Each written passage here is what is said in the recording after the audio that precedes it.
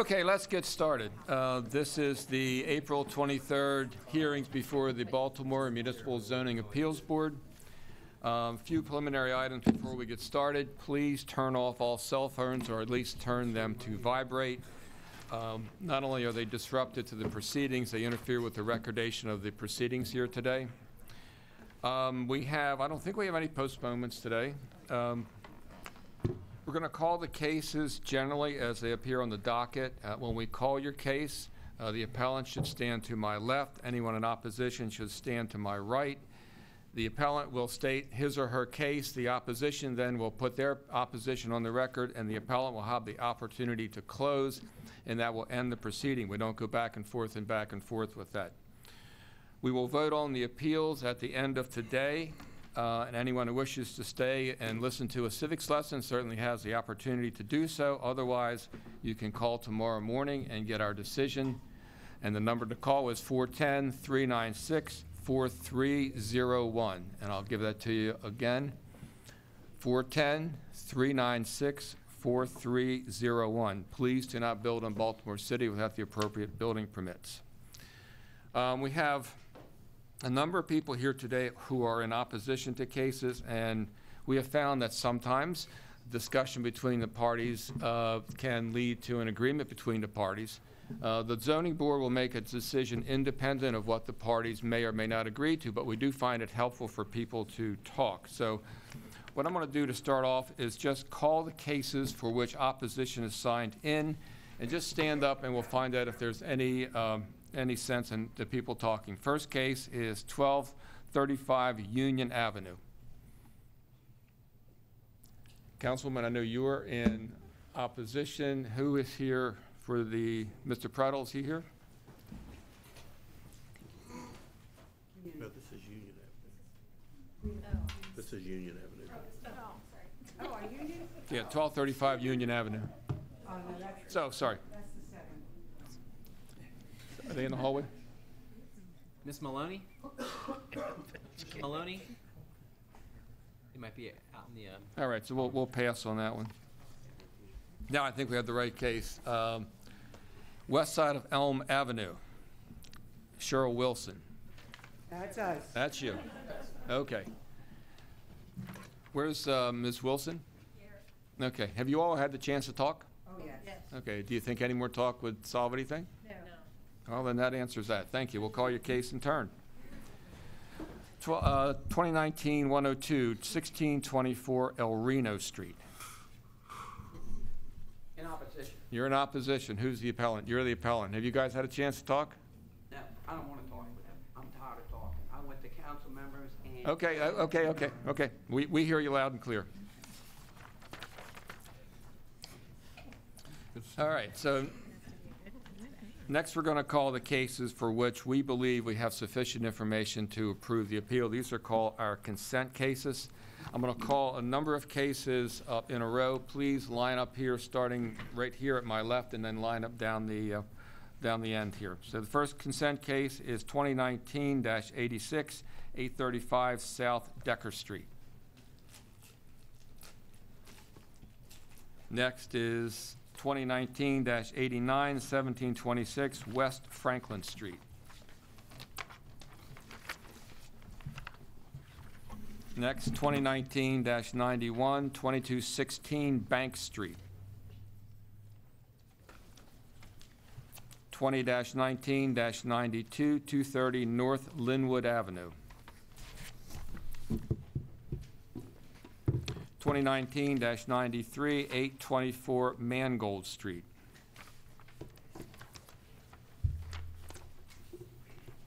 Twenty nineteen ninety-eight, nine sixteen North Broadway.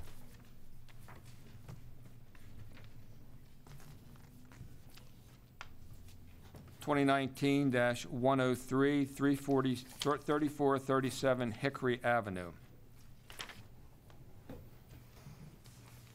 2019-104, 1008 Morton Street. And last, 2019-105, 5835 Park Heights Avenue. Okay? Let me get everybody up here, then we'll get everybody sworn in.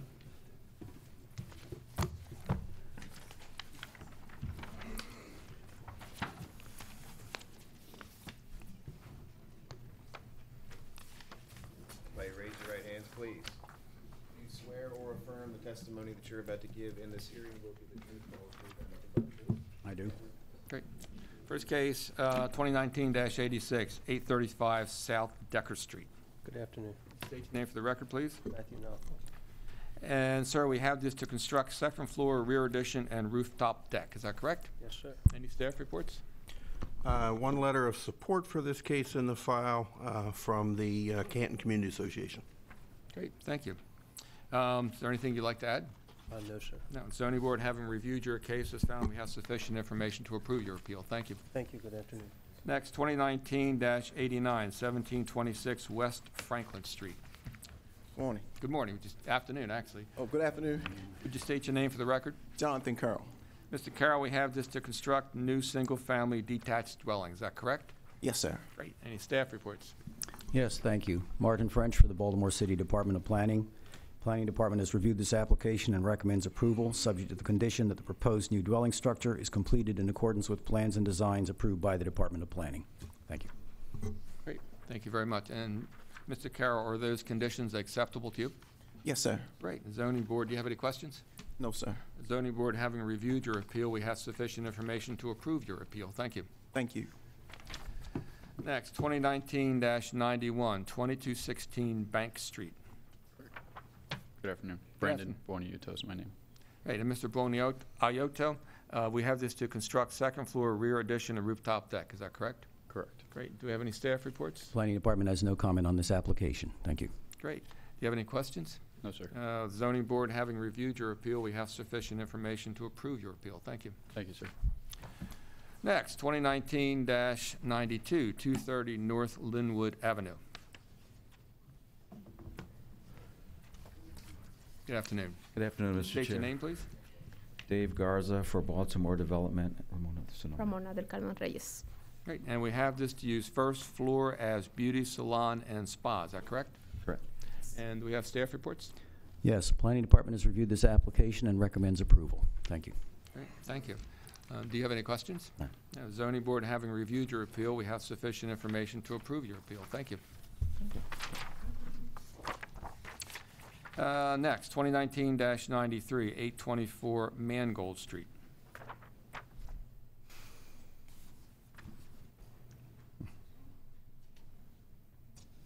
Okay. Uh, After that, 2019-98, 916 North Broadway. Good afternoon. Hi, just state your name for the record, please. Edwin Sandoval. And Mr. Sandoval, we have this to use first floor as variety store, is that correct? Correct. Great. Do we have any staff reports? Thank you, yes. Planning Department reviewed this application, noted that this property is in the Gay Street One Urban Renewal Plan area, therefore exterior alterations may be subject to review by the Planning Department. The department recommends approval of the application be subject to the condition that all exterior modifications, additions, or other changes to the existing structure are completed in accordance with plans approved by the Planning Department. Thank you. Thank you very much. And Mr. Sandoval, are those conditions acceptable to you? Yes. Okay. Uh, Do you have any questions? No. Uh, The zoning board, having reviewed your appeal, we have sufficient information to approve your appeal. Thank you very much. Thank you. Uh, 2019-103, 3437 Hickory Avenue. Good afternoon. State your name, please. Michael Morris. And Mr. Morris, we have this to construct second-story, two-story rear addition, is that correct? Yes, sir. Staff reports? Planning Department has no comment on this application. Thank you. Hey, Mr. Morris, do you have any questions? Uh, no, I don't. The zoning board, having reviewed your appeal, we have sufficient information to approve your appeal. Thank you. Thank you. 2019-104, 1008 Morton Street.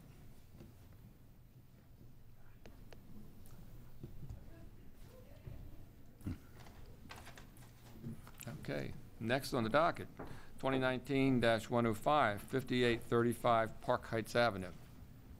State your name, please. Bob Rosenfeld. And Mr. Rosenfeld, we have this to construct one-story corner side addition, and I think this, your application has been amended, is that correct? Uh, Yeah, yeah, Yes. yes, Okay. yes. Okay, do we have any staff reports? Planning Department has no comment on this application. Thank you. We also have one letter of support on behalf of the Glen Neighborhood Improvement Association. Great, thank you. Uh, Do you have any questions? None. The zoning board, having reviewed your appeal, we have sufficient information to approve your. Thank you. Thank you very much. All right, so next, we're going to move into our regular docket. Uh, We're going to start off with uh, 2018-420. I'm going to call two cases at once. 2018-420, 230 North Carey Street, and 2018-421, 232 North Carey Street. Chairman.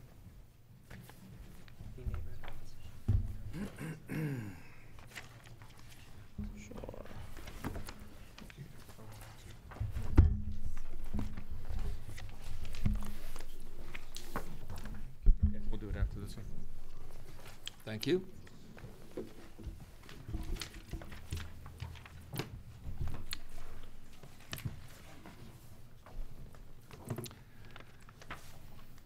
Let's get everyone in who's going to provide testimony. I Raise your right hand, please. Do You swear or affirm the testimony that you're about to give in this hearing will be the truth, the whole truth, and nothing but the truth? Great. Counsel, you state your names for the record, please. Good afternoon. For the record, Justin Williams from the law firm Rosenberg Martin Greenberg, here with my colleague Caroline Hecker, joined by uh, Noble Meyer and Evan Roberts from the applicant, and from the Community Associ- uh, Franklin Square Community Association, Edith Gillard Canty, and Dominic McKaylee from uh, Councilman Bullock's office. Great, thank you very much. So you're here, this case is here, both of these two cases are here on a reconsideration. So I'd like to hear why this board should reconsider first. Sure. Um, so, um, members of the board, uh, I've included in the packets um, a lot of information for you, but we copied the letter that we submitted um, uh, requesting the board reconsideration, reconsider its decision from January 15th to deny the initial request for variances for both properties, which are located side by side in the Franklin Square neighborhood at 230 and 232 North Carey Street. Um, we think the grounds for the reconsideration are that uh, due to inadvertence or the lack of information and evidence that, that the board had, they would have changed their decision. We've discussed with the Department of Planning the evidence that we'll, I'll go through, and they've at least changed their mind or dropped their objection, so we believe that the board would be willing to change their decision in this matter as well. I can go through it, but generally, the two pieces of information are community support, which we have letters, letters in the files from the Franklin Square Community Association and the Southwest Partnership. Um, and Councilman Bullock's office is here to support as well in person. And then secondly, probably most importantly, the, I have evidence to, to demonstrate that the feasibility of repurposing the building for the three and four units that are allowed by right on the property is not feasible. Um, there's cross-sections in the file that show that the levels of the houses um, from front to rear uh, vary in height. And there's pictures in the last page showing a sample showing how if it were to be just three units, the normal way would be to have one unit on the third floor, one unit on the second floor, one unit on the first floor. However, because of the configuration of the home, that happened way before the applicant acquired an interest in the property. And Ms. uh, Gillard Canty would testify that her mother actually lived in the, one of the properties in the 1940s and would say that even at that time, it was six units. And that to repurpose the, the units for the three units by right or four units by right would not be practical. Okay. Mr. French, uh, we're still hearing this on on reconsideration. Um, What's the planning department's position on this at this point? Well, as Mr. Williams is suggesting, the department is not opposed to an approval of six dwelling units uh, because of the fact that these particular buildings, uh, or this building in case of 230 North Carey, but likewise for 232 North Carey, they apparently were built as a pair and pretty much designed architecturally identically. Um, The portion of the building which would, in the olden days, be called the front building is uh, taller than the portion of the building that in the old days would be called the back building. And because of that, there are floor level differences uh, between the front and the back that basically were taken advantage of uh, by the person who divided the uh, upper floors, the three dwelling, th- three levels, pardon me, first floor level, second floor level, and third floor level into a front and a back apartment because they are at different heights, floor heights. And so the department recognizes that there are, in that sense, um, some unusual conditions within these buildings uh, that are not normally encountered in Baltimore uh, housing, where usually the front and back building have the same height and uh, therefore the same floor levels. So the department uh, was opposed to the concept of eight dwelling units, and that was the point of the department's memo. The department saw no reason to authorize basement apartments in this situation, but was certainly comfortable with six dwelling units in the building. Okay. Um, I'm inclined to grant the motion for reconsideration. Is there any objection on the board? Okay, so that's great. Let's hear, let's hear about the- the project. Right, so to go into the merits discussion, I've included um, the- in the file a number of uh, examples, and I'll walk through briefly, and if the board has any questions, um, we're here, happy to answer them. Um, The board already heard most information in the initial January 15th hearing, Um, but I included in the file an aerial photo showing the property at 230 and 232 uh, North Carey Street. It's a block north of Franklin Square Park, a block south of the highway to nowhere, Route 40, and with one walking distance to the West Baltimore MARC train station. Uh, I've included also a zoning map for you to show that the property, one of which, one of zo- properties is zoned R1, and one is zoned R8, um, which is relevant that um, if the OR1 zone property has more density than the R8 property, and if they were combined, the lot area variance would be smaller than, um, I guess, initially considered, and that would be less of a magnitude of a variance to be granted. Um, The property is located in the Franklin Square Historic District. I included a copy of that in the file for you as well, um, talking about the history of the Franklin Square neighborhood and how it- the neighborhood has suffered from lack of investment in, in white flight from the 60s through today, um, which is part of the reason why the Community Association has been in full support of this development, that they recognize that but for the ability to do six units in each of these properties, the properties would not, would be vacant forever and continue the kind of lack of investment and blight in the community. Uh, I've included aerial photos showing the back, and like Mr. French alluded to, there was a rear L in these properties, because these used to be, as mentioned in the historic form, the sort of higher class mansion-type units in the neighborhood from the 1800s, where the rear portion of the property was used by servants, and so that's why it was a little different difference in height, which is the real uniqueness factor for why we need the lot area variance today, and we think we're entitled to it. Uh, I'm included also in the exhibits census data showing the census tract information. Um, There's uh, persistence of poverty in this neighborhood in the census tract, and the median rental income, median rent charged by units in this area is only $771 um, per month. And so if the applicant were forced to do only three or four units by, that they could do by right, they would have to charge rates that are just too high to get a return um, in this community. Uh,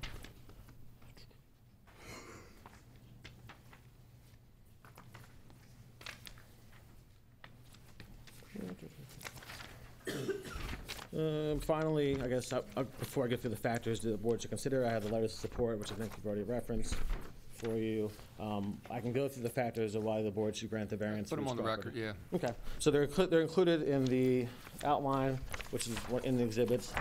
It's, uh, starts on page seven. I guess in the first matter, the, um, on page six, the variances required are lot area variances for density and a parking variance. Um, Actually, not included in our, the filing is that properties will probably have two parking spaces behind each unit, but just to be consistent, we'll request a variance for no parking spaces, and the um, Community Association president would testify there's not a parking issue in the area.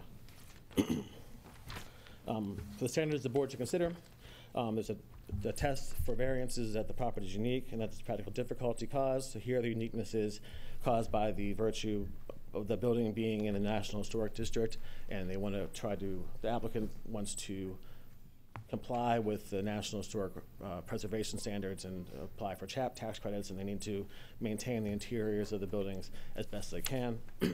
And that, along with the neighborhood's uh, household income being lower than the city's average, may make it unique that the property needs to have these um, six units in them to make them viable. Um, And that's a practical difficulty that the applicant would face. If they had to do three or four units, they could not do so um, efficiently, economically. Um, Addition, for the board, the factors the board must consider are in per 5-308B. The properties, um, the issues faced are unique, As I mentioned, these these conditions faced are unique to the R8 and OR1 zone as it applies to our property and not citywide, as Mr. French mentioned. These are unique properties that were divided with uh, different floor levels. Um, The unnecessary hardship and practical difficulties not caused by the applicant. This uh, happened and predated their uh, interest in the property. The purpose of the variances is not based exclusively on desire to increase the value or income potential in the property. The variance is requested only to make this rehabilitation viable and economically possible. If it weren't, then the applicant would walk away, and the community association letter mentions that as well, that they would rather see development happen here as opposed to a vacant building. That contributes to blight in the neighborhood. Um, The variance would not be injurious to the use and enjoyment of other property in the immediate vicinity or substantially diminish and repair property values in the neighborhood. Um, Again, the community association support and the councilman support are um, good indicators that the community feels that this is a good applicant and will do good work, and that it's necessary for the community. The variance is also in harmony with the purpose and intent of the zoning code. It It's um, in line with the goals of the city's comprehensive master plan, which is to promote housing opportunity and op- options for the neighborhood. Um, It's also near the West Baltimore MARC train station, which promotes transit-oriented development, and people can walk to the MARC train or the bus depot there. Uh, The variance is not precluded by any urban renewal plan, um, and it's in line with the CHAP district. Um, the- uh, The applicant's seeking CHAP cre- tax credits, and they'll help maintain a building that's really a beautiful building, but in a CHAP district. But for these variances, they would have to walk away. Um, As I mentioned before, um, it has the support of the public, and therefore will not be detrimental to the public health, safety, general welfare, or morals. Um, It's only addition of two or three units more than what would be allowed by right, and it won't cause any exterior changes to the property. Um, And so for those reasons, we request the board to grant the variances. Okay. And I, I- do you want to speak, Ms. Gillard? I was going to say, do you have any testimony? Okay. Okay. Is there any further staff reports? We start off by talking about the reconsideration, but I didn't think there were. Okay. Any questions from the board? Nope. All right, Thank you very much. Thank Thank you very much.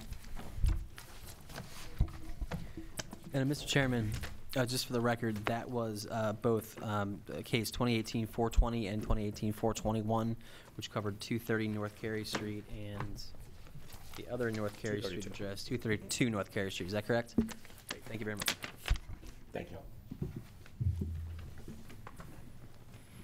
All right, next case, uh, 2018-425, 3804 West Rogers Avenue.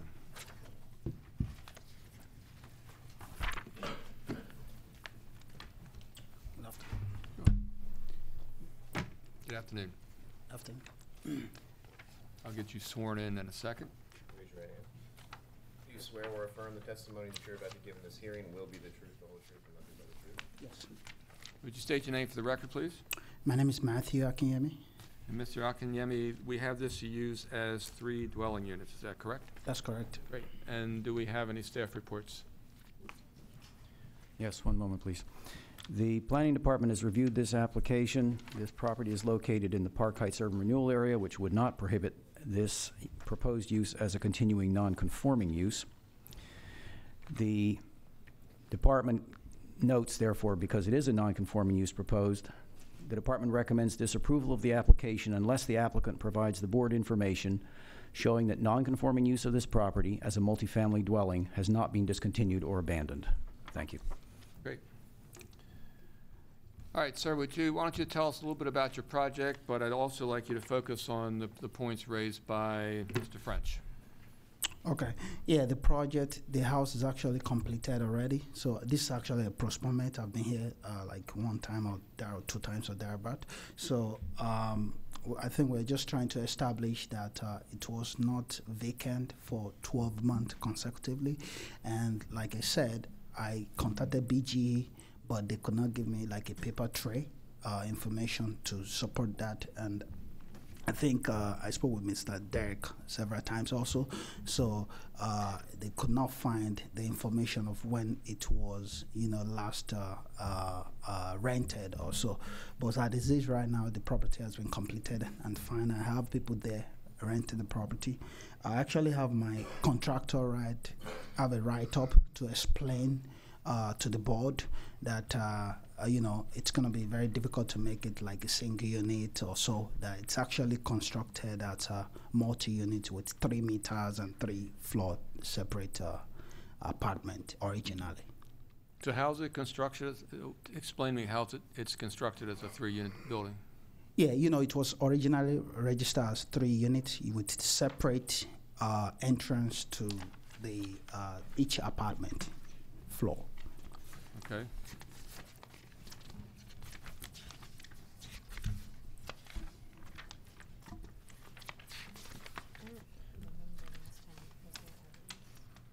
Mr. Chairman, just to clarify, um, this property is located in an R4 zoning district Mhm. where multiple family dwellings would not be allowed by right.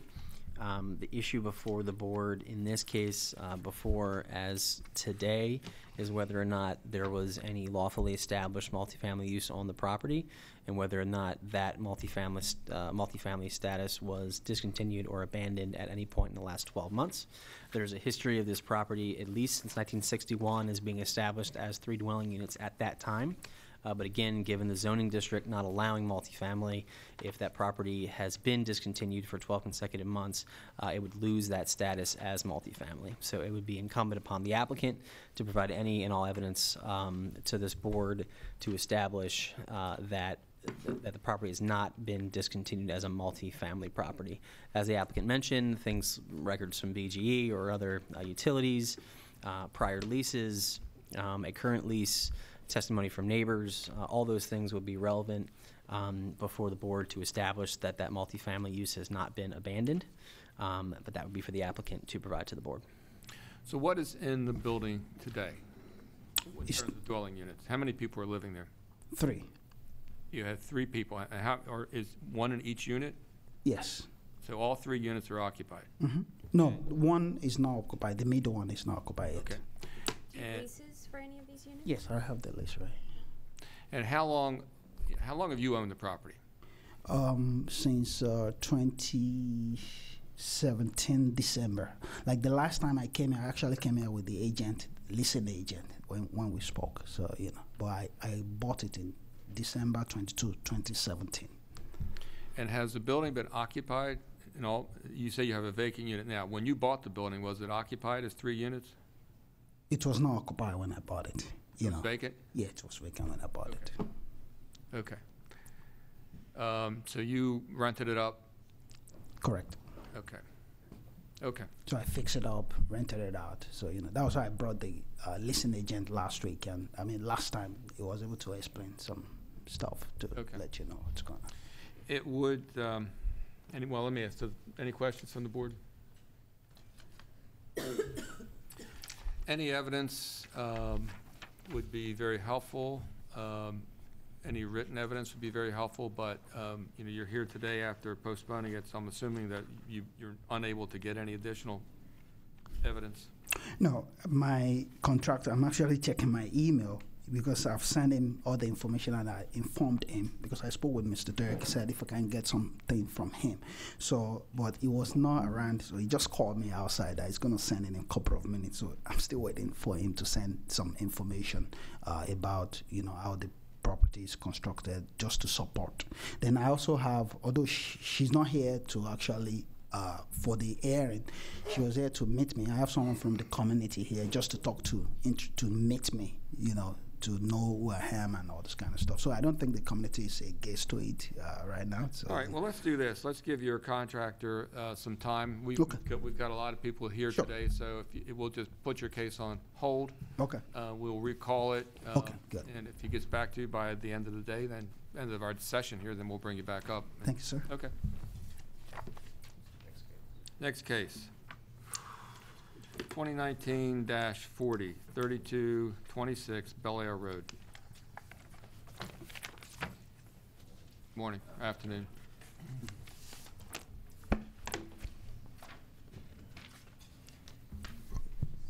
Raise your right hand. Do you swear or affirm the testimony you're about give in this hearing will be the truth, the whole truth, and nothing but the truth? I do. Good. And would you state your name for the record, please? My name is David Hathaway. And Mr. Hathaway, we have this to use portion of first floor as educational facility, is that correct? That is correct. And do we have staff reports? I have a couple of letters, so bear with me. The first is from the Harbel Community Organization, uh, written to uh, Mr. Baumgartner. As the Community Service Director of the Harbel Community Organization, uh, I'm writing to, writing you concerning uh, this appeal before you. Uh, It's used the first floor as 3226 Bel Air Road as an educational facility. Enclosed, you will find a code violation notice, an order issued by Inspector Brandy Harrison on December 19, 2018, uh, that indicates this property was cited on that date for failure to obtain a use and occupancy permit to operate a phlebotomist training program within the first floor of that address. This property is within the boundaries of the Bel Air Edison Main Street, which is overseen by Bel Air Edison Neighborhoods.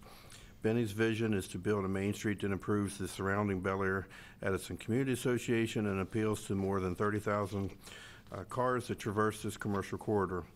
Their goal was to attract businesses that perform proper market research, have strong business plans, and are willing to see a vision of a more prosperous Main Street. They have consistent issues with businesses that view this corridor as an inexpensive place to operate establishments for their own specialized uh, use directed at a personalized or specialized client. Further, Benning has attempted to meet with the operator of the phlebotomist training program to no avail. For all the cited reasons, Benny opposes this use.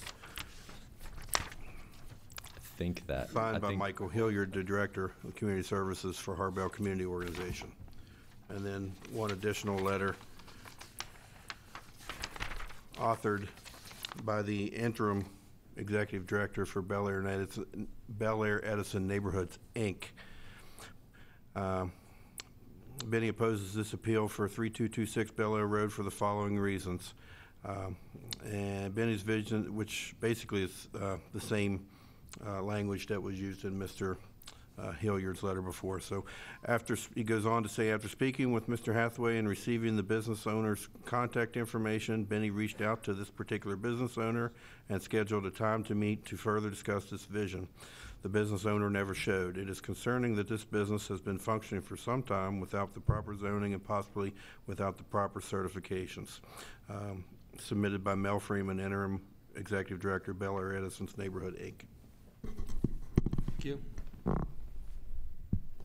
Planning Department reviewed this application, noted that this being a commercial district C1, educational facilities which are deemed commercial vocational are not listed as a permitted or conditional use.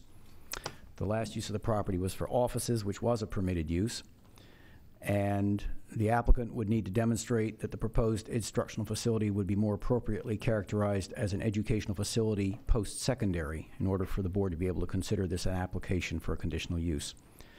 The Department Planning recommends approval of the application if the board determines that the proposed use is a type of educational facility post-secondary, which is a conditional use in the C1 zoning district.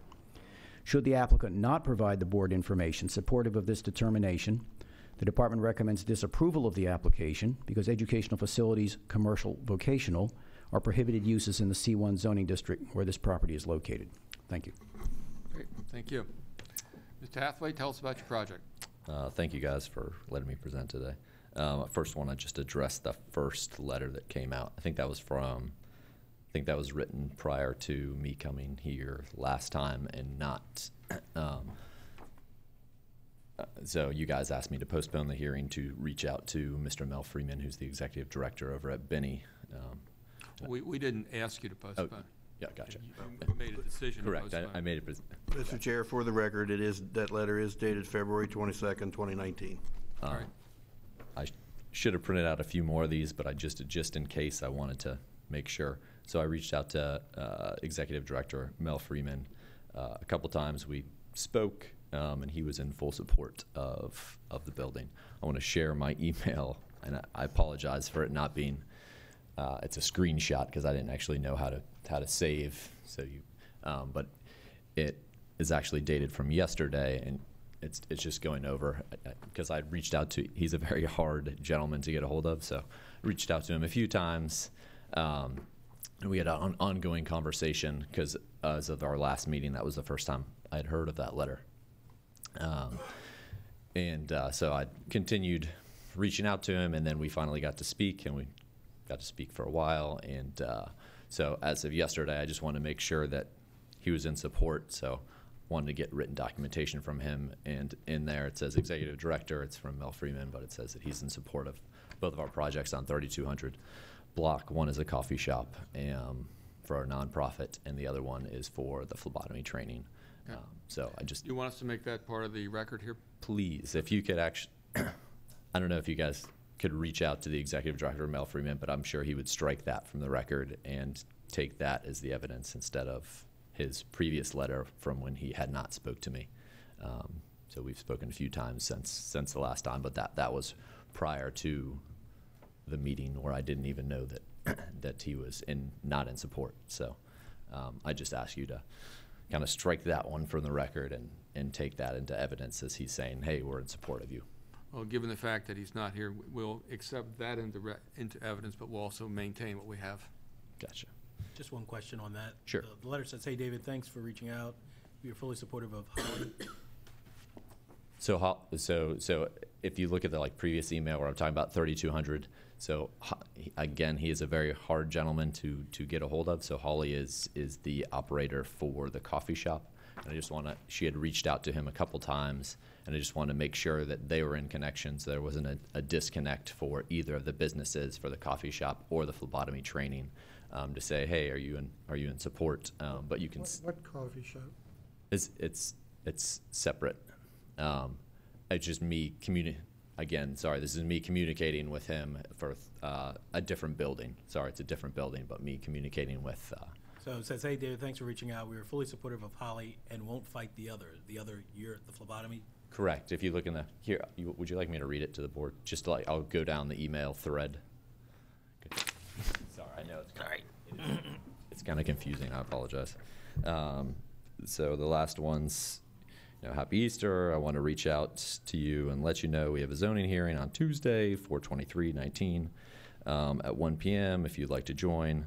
Um, I was hoping to have you, uh, the support of Benny on both a phlebotomy higher education training facility and Cups Coffee House on the 3200 block of Bel Air Road, me referring to both of the businesses. Let me know if you, if you wanted to chat any more about the facilities, and, and I will make myself available. Um, so then his response is, Hey, David, thanks for reaching out. We are fully supportive of Holly and won't fight the other. Thank you for your continued support and vision. Um, there was a there I could have printed out. There was a, a, a lot of unresponded to emails of me reaching out, but we we actually spoke over the phone um, a couple times. But again, he is is I'm sure he's busy um, and he's he's a hard hard hard gentleman. So I just was persistent to keep reaching out to make sure that that uh, either he would be here today or I'd have written proof of his support. So it wasn't just me telling you guys he supports us. Okay. But I'll, I'll pass that around. You can add that to the record Was too. there any change in the Harbel position? In the, um, so this is the, the recent letter that I have from the uh, Department of Planning. I asked about Harbel. We have not received any update from Harbel other than that prior letter, which was read. That's the in letter the of record. record. I'm sorry? That's the letter of record? That's correct. Um, so I also want to pass this out to you guys. I- And I apologize, this is the same thing that I passed out last time. It's from the Maryland Higher Education Commission. Um, And uh, again, the, the, the building's in a C1 district. It's on the first level. Um, and it, the C1 district does does prov- uh, does allow for uh, education facilities post-secondary. Um, from the zoning board, the definition of post-secondary is an institution for higher learning, uh, and some examples are colleges and with eh, colleges and degrees. Um, so, and the doc from, from the MHEC, the Maryland Higher Education Commission, letter grants the exemption from uh, the state's minimum education requirement because the, the uh, coursework is, is three weeks for phlebotomy training. She has to submit uh, coursework that goes over all of her education that she's providing. Um, the similarities of higher education post-secondary and why it should be called a higher education post-secondary, the phlebotomy training facility, um, is that there's a minimum education requirement, and as on the letter you can see that um, the phlebotomy training can only be given to people that have allied, have prior allied healthcare training. Um, it's people that want more education. Um, this is not a requirement for hospitals or nurses' aides or assisted living facilities. This is for people that want to increase their education with phlebotomy. Um, and for those of you that don't know, phlebotomy is intravenous. It's basically uh, taking blood and uh, giving giving medicine. Um, and then the, uh, another similarity is that there's a degree or certificate that enhances your education and normally improves your career.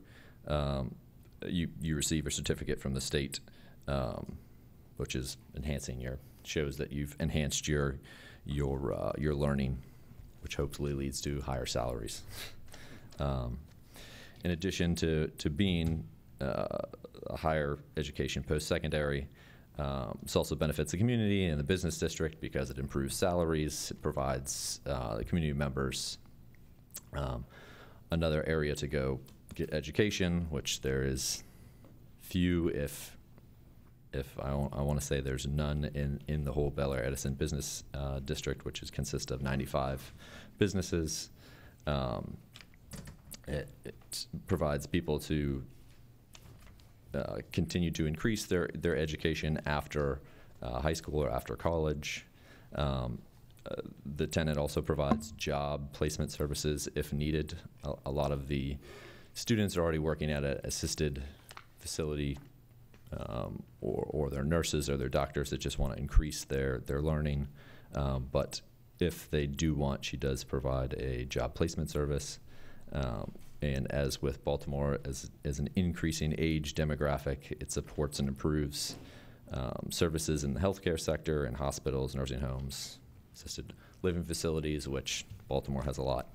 Um, having the support of, of Benny um, with the executive director, Mel Freeman, um, and the planning, the, the planning board's letter just saying if it is a educational facility, uh, post-secondary, higher education facility post-secondary, that it should be approved. Um, I do think you guys should uh, consider it for uh, zoning as a higher education post-secondary facility. Is there some reason why, because you're not the one who's actually providing the training, right? Because you own the building and it's your tenant that provides the, the That- training. that is correct. So is there some reason why your tenant is not here? Uh, the citation was given to me.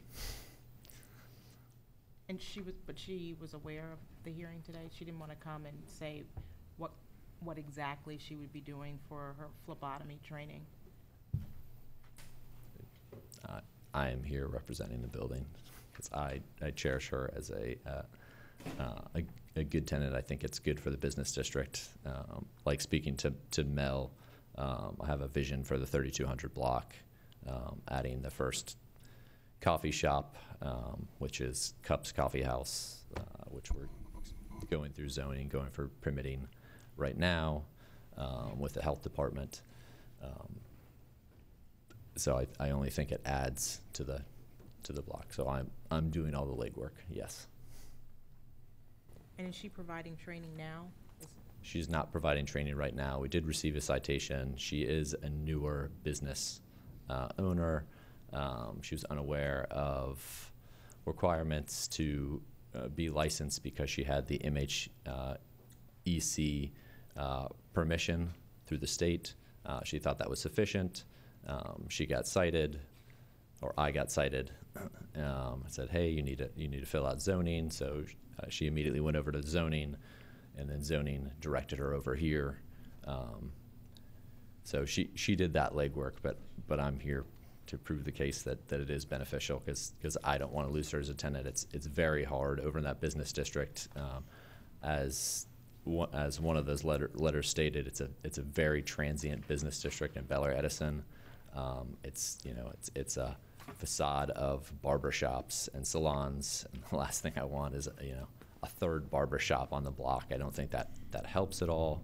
Um, I think being a phlebotomy training facility over there that that can provide jobs to the community, I think it, it is grossly beneficial to, to the community, to the uh, Bel Air Edison district. And again, the, the speaking of Mel, he does agree that that, that will will provide the community with service and is a good business for the the uh, Benny district. Okay. Any other questions from the board? I wouldn't know where to go. No. Thank you very much. Thank you, guys. I appreciate it.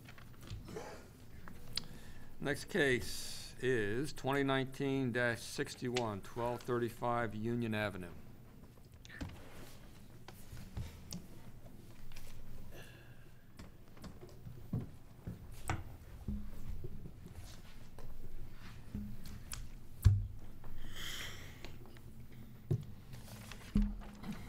We'll get everyone who's going to provide testimony sworn in. Raise your hands. Do you swear or affirm the testimony that you're about to give in this hearing will be the truth, the whole truth, and nothing but the truth? I do. You state your name for the record, please. Nate Predel. Okay. Mr. Proto, I'm sorry. Okay, go ahead, I'm sorry. Patricia Mahoney. Okay, Amani Sturgis Martorella. okay. Let me get that last name. Spell it. Sturgis, S-U-R-G-E-S. Say your first name. Nope, last name. Give me your first name first. Amani, A-M-A-N-I. Last name is S-U-R-G-E-S, space, M-A-R-T-O-R-E-L-L-A. M-A-R-T-O-R. E-L-L-A. Okay. Mr. Proto, we have this to construct two-story rear addition, is that correct? That is correct. And do we have staff reports? We have a letter from the Hampden uh, Community Council in support of the appeal. We also have letters from residents on the 1200 block of 37th Street. Uh, One, two, three, four letters um, in support of the appeal. Planning Department has no comment on this application. Thank you. All right, Mr. Pretel, tell us about the project. Good afternoon. Uh, Nate Predel from AB Associates. I'm here with Amani Surgis, who's the property owner as well as a resident at 1235 uh, Union Avenue. I'm here um, present for a proposal for a first floor rear addition as well as a second story rear addition. These are minimal additions. The first floor is roughly nine and a quarter feet by uh, six feet, and the second floor addition is 12 by 14 feet. That's 12 feet deep into the rear yard by the width of the lot. Uh, The total addition of square footage is roughly 255 square feet. It's about 55 square feet on the uh, first floor, 200 feet, or, sorry, about 180 square feet on the second floor. And the reason for these additions is to allow Ms. Surgis and her husband, and well, their two kids, to improve their property to remain in Hampden. They've been members of uh, the Hampden community for approximately 13 years. They love the neighborhood, and they want to be able to raise their family and stay here. Uh, We're here to ask for minimal variances regarding the lot coverage and the uh, rear yard setback provisions. We have a unique property which is located on a very steep slope on the 1200 block of Union Avenue, which is on the west side of Falls Road. I should mention, there are ways that this property could be improved in this manner that don't uh, require relief from the zoning code. However, I think by all accounts, they would be more adverse to adjacent property owners than the proposal forward. There's a front yard that could be developed, however, there are no additions in the front yard. There's a rather standard face of all of the houses on Union Avenue on the 1200 and 1100 blocks. They could build a third-story rear addition, uh, but again, this is a block of two stories. So after consulting with their architect, they felt the uh, most appropriate measure to improve their property to stay here would be to call for these uh, rear additions. I should mention they are minimal. They are based on the uniqueness of the property as well as the historic characteristics of the block. The first floor addition would mirror where there's an existing overhang, a six-foot overhang would be essentially framed in and it would provide a mudroom and a breakfast room off of their existing kitchen, and the second floor would allow for a children's bedroom to 12 feet. These additions are in character with other additions that are been approved on the block. Can provide some examples at 1223, 1225, 1239. All have additions that go further back. Whether they came to the board or not, I think they may have been far. Uh, uh, it's, it's someday. I doubt any of these board members were here, but they may have come at, at, at some point. And I should mention that we've done an extensive community outreach for this. We met with the Hampden Zoning Land Use Committee where we gained their approval. We have, I believe, eight letters of support that should be in your file. I think six from the 1200 block of West 37th Street, which backs up to 1235 Union Avenue, as well as two others on the 1200 block of Union, including their adjacent neighbor at 1237 Union Avenue. We also have, as Mr. Baumgartner mentioned, a letter of support from the Hampden Community Council as well. And so I think that's, um, I'll let Amani talk a little bit about some of the reasons for this addition, but I'll leave it at that and maybe re- respond to the opposition afterwards. Thank you. Um, so my husband and I have been living in Hampden for 13 years in the same property. Um, we totally lucked into the best block in Baltimore. Um, we really love our neighbors. We love where we are, um, and we're trying to make the uh, house something we can stay in for the long haul. Um, we have two young daughters who are not getting any smaller, um, and we're trying to make the uh, make it a property that we can stay in because we don't want to go. Okay. Let me hear from your opposition, please. Thank you. Um, I live next door to Amani and her husband Joe. Um, I've been there for 20, 20 21 years. Um, I've lived in Hampden and Remington all my life. Um, from what I understand, the additions that Amani and Joe want to make to their house, there's nobody else in the in the neighborhood that has wants to go out that far. Um, on the opposite side of me is um, a family who had a dispute with the neighbors two doors up. They built a huge wooden fence along the fence between the second house because of um, issues with the children and dogs and pets and things. And that was supposed to come down when the other family moved out. They've been gone for a number of years. That fence is still up. Um, there's a lot of trees and weeds, not weeds, but bushes or whatever they call them, that grow along that fence that grows high. You can't see up that under the alley. Um, with the addition that Monty and Joe want to make to their house, on this side is going to block any view that I have going down that way. So basically, I'm going to be living in a box, um, looking straight toward the back of my house. Um, also, the resale value of my home, I think, would be depleted by not having a view either way. Um, I do plan on trying to move in about three to four years, maybe five years, to nearer to my sister, an older sister down in Virginia. Um, but I don't know how that's going to plan out. That's in years to come. In the back of my house, the back wall, um, I have a, excuse me, I'm sorry, I have a letter. This explains some of my financial problems. And if anything were to happen to my home um, from this addition, I just would not be able to afford to um, make any repairs or um, upkeep, not upkeep, but any problems. Make this part of the record. Yes, please. Um, I've had many medical issues. Uh, my finances are finance finances, excuse me, are depleted because of those issues. So anything that would happen to my house would be something that I'm not prepared to be able to rep- um, repair. Um, let me see.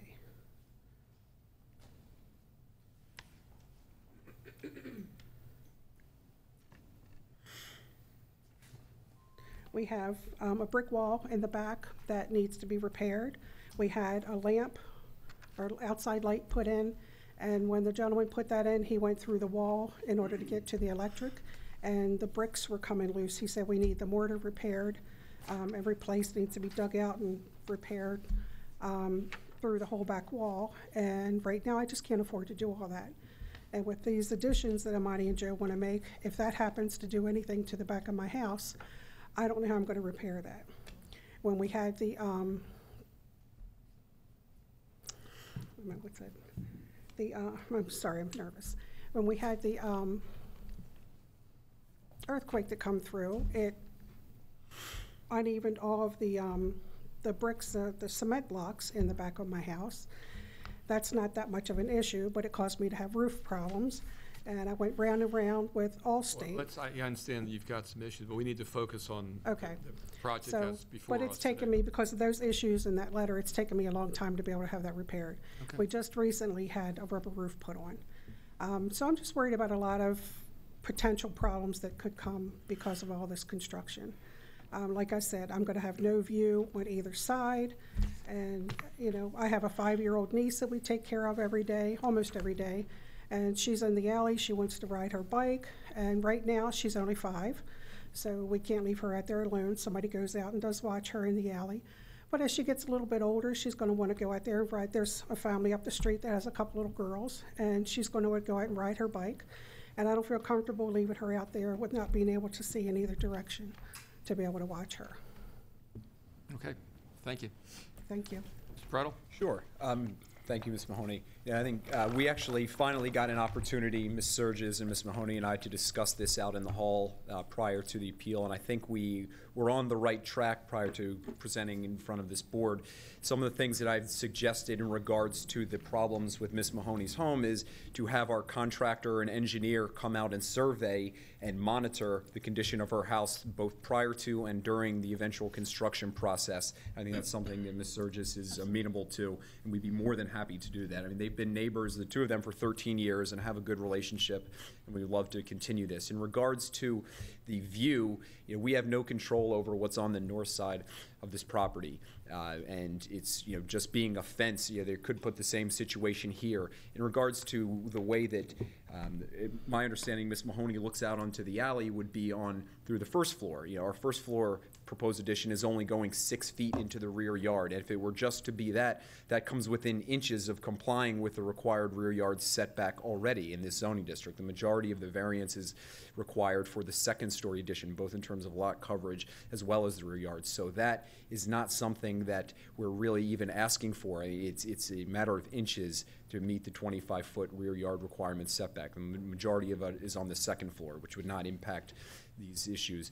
And there, even with the second floor addition, there's still an 18-foot rear yard, which matches a number of blocks on, on the house already. Um, And so I think I would just leave it at, at, at that for right now. All right, thank you. Any questions from the board? I don't have any questions. Great, Great, thank you very much. Thank you. Thank you. Thank you. Next case, 2019-64, 210 East Lafayette Avenue.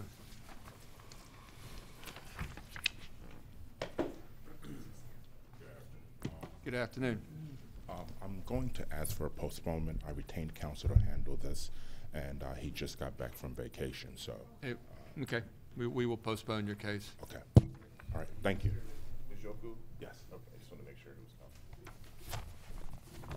Thank you. Okay. Next case is 2019-75, 30, 34 and a half Pinewood Avenue.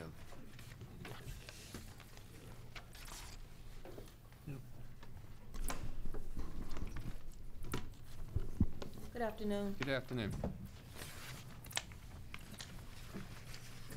Raise your right hands, please.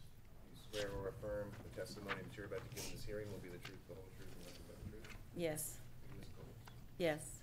what's your name? Ms. Coles as well, Christina Coles. Okay. Ms. Coles, uh, we have this as uh, to increase from two dwelling units to three dwelling units. Is that correct? Yes, sir. Okay, do we have any staff reports? Yes, thank you. Planning Department reviewed this application, noted that this property is already authorized for use as two dwelling units. However, it is zoned R3, which makes the multifamily dwelling use a non-conforming use in this particular zoning district. And the proposal to begin to use the basement as a dwelling unit would constitute an expansion of a non-conforming use, which the zoning code does not authorize the board to approve. Therefore, the department recommends disapproval of the application because the board is not authorized to approve an expansion of a non-conforming use, which the existing multifamily dwelling unit is in the R3 zoning district where it is located. Thank you. Okay, thank you. Ms. Coles, would you uh, tell us about your project, number one, and number two, I'd like you to address the points raised by Mr. French.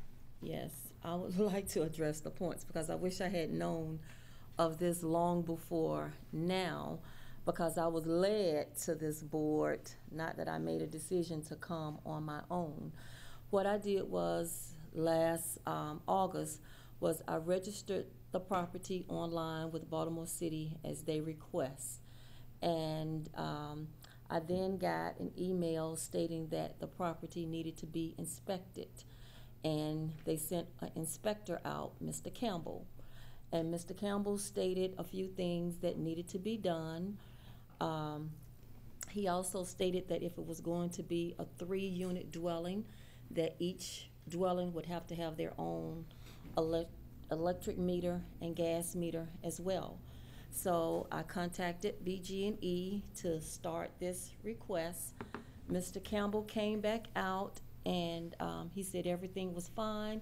He saw where um, um, uh, it had been put in with um, BG&E for the meters to be installed. Um, They also told me I needed to get a lead test, and they told me I needed to get um, that inspection. I got the lead test, it passed without any problems, and the inspection passed without any problems. So then later, I hear that um, I need to go to zoning. So I go to zoning and I explain to them what it is that I'm trying to do. And then they tell me that there's an appeal board. So after over twenty thousand dollars has been spent to do all of this work, uh, I'm, t- I'm being told that it's left up to, um, you guys, the appeal board. And, um, all along the way, I'm spending money, and I'm, I haven't been told that it's against the rules of the city to have three dwellings. I was told that two years ago, it was approved, it was approved to only have two. So after my inspections and everything was good, I got another tenant. I have two very good tenants, along with the co-owner, who is my daughter. She's a full-time student. She and her husband were living there. They are no longer together. Um, she works part-time, so we needed the tenants to help pay the mortgage because I am retired from the military and I receive Social Security now. So I cannot continue to pay part of the mortgage as I had been doing. So I have very good tenants. I have no problems with them. I don't think they have any problems with me. They've never, they're no trouble in the neighborhood. One is a disabled veteran and the other one is a disabled adult. So there are three tenants who live in the building and there are no issues or no problems. The three houses to the right of my property have three units. And I didn't think it was an issue until I got to this point to find out that two years ago, the law was changed. I was told by zoning that it can, um, it was approved for two units, and if it wasn't three units already, that it couldn't be changed. Well, that's. Like I said, that's yeah. after twenty thousand, over twenty thousand dollars has been spent. Yeah, I, I, again, we're, I don't know the history of your property. I mean, I do know, what we know is that it's in an R three district, and we know that expansion of what's considered a non-conforming use is just not permitted in an R three district. No, it was already two. Mr. Baumgartner, are we missing anything here? No, the, the, the filing for the work permits, uh, when you were doing the work in the interior of the property, um, were, were, uh, commercial building permits, um, issued by the Department of Housing, um, and Community Development for that work? Okay, what work are you speaking of? Whatever work was done to the Okay, interior the property the work that was two or three done was electrical, so Okay. it was, the wiring was redone Okay. to change it to three instead of two. But did the uh, permit have that information on it, or was it merely, I'm sure it did. It, on, on, on the internet, under housing, it states that the work to be done was to the basement. And it stated on my application that I was requesting, and I think I have some of that paperwork here now, requesting that the basement be made the third dwelling. okay? Because uh, the way that the process should work is that when you file for the building permit, you would also be filing for what's called a use and occupancy permit, or um, um, um, an occupancy permit, which would list that three dwelling units. Yes. That would then be sent to the zoning office, which is under the Department of Housing, that would then review it before any building permits were issued. So the idea is that they review it to make sure that the actual use of the property is permitted before any work is done on the property. Well, I'm sure the uh, person that, uh, the company that did the work, because I kept hearing them saying that um, they have to close out the permit, they have to file for the permit, and they asked me who the name, names of the people who were doing the work. BG&E hired a contractor, I hired um, someone to do the rewiring. Okay. Um, I mean, I'm looking at the work permits that were issued, and it refers to a basement apartment, but it doesn't refer to a total number of dwelling units. And then there was a, there was a use permit applied for in 2018 to use as two dwelling units. Um, Is that something um, that you had filed or the contractor had filed? It's a use permit, use 2018-54504. Looks like, uh, I don't have a date here. Um, I didn't file for anything Okay. for two. Uh, on the paperwork that I have, it says three. When Okay. it was inspected, it says three. Do you want to show us what you have here?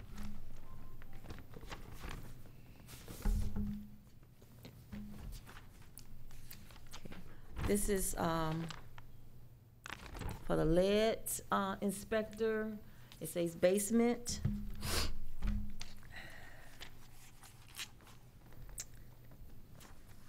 This is for the city inspection. It says three.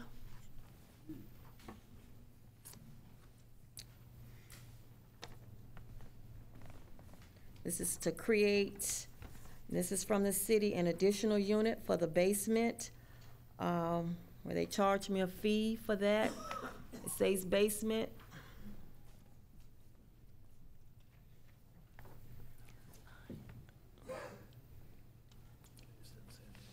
Mr. Chairman, I have a feeling that the permits never went to zoning. Uh, That's what it appears. Um, I'm sorry, say that again, Mr. Baumgartner. I, I just, I have a feeling that for whatever reason, and I don't know why, um, that the, the zoning office, which is under the Department of Housing, um, that, um, that permit request was never forwarded to the zoning office. Because they would have, um, in the course of their work, they would inspe- they would, um, look at the property to see, um, what it was currently zoned for, what it was currently authorized for, and if a building permit, the use of it wouldn't match the existing, um, use of the property, they would flag it and then deny the permit.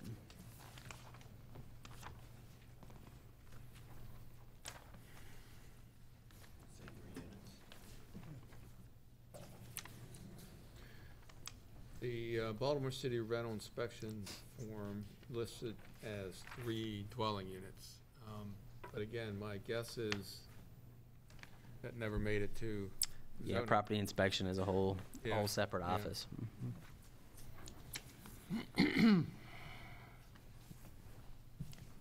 I'm not sure what we at this board can do uh, to help you. And I understand exactly what you're saying. We're looking at these documents, um, and they do reflect three units, but as Mr. Baumgartner said, it appears that um, no one was communicating with the zoning office as this process was going through.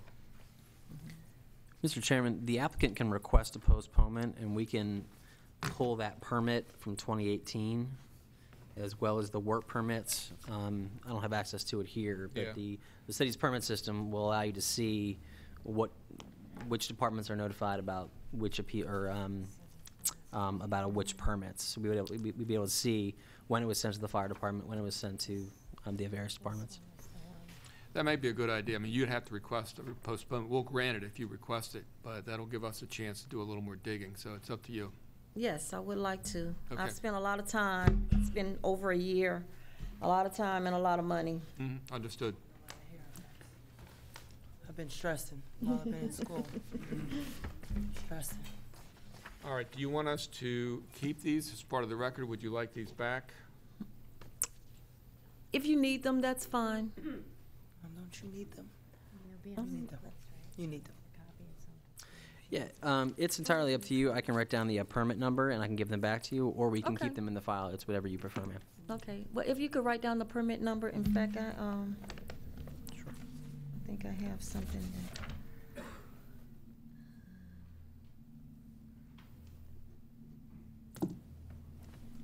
Let's see what the permit number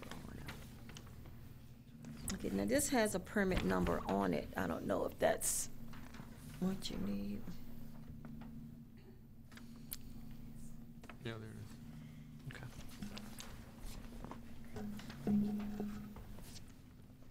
So, ma'am, you can take these back if Okay. you would. Okay.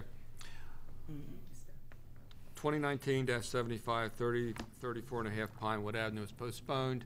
We will uh, give you notice uh, when, hopefully we'll get you back in two weeks. Okay. Uh, But it may be four weeks. We meet every other week, so it just depends, you know, when we can get you back in. But we'll give you notice. Okay, thank you very much. Mr. Chair. Yes. The gentleman from Rogers Avenue has heard from his contractor. Okay. Uh, We'll call 2018-425, 3804 West Rogers Avenue.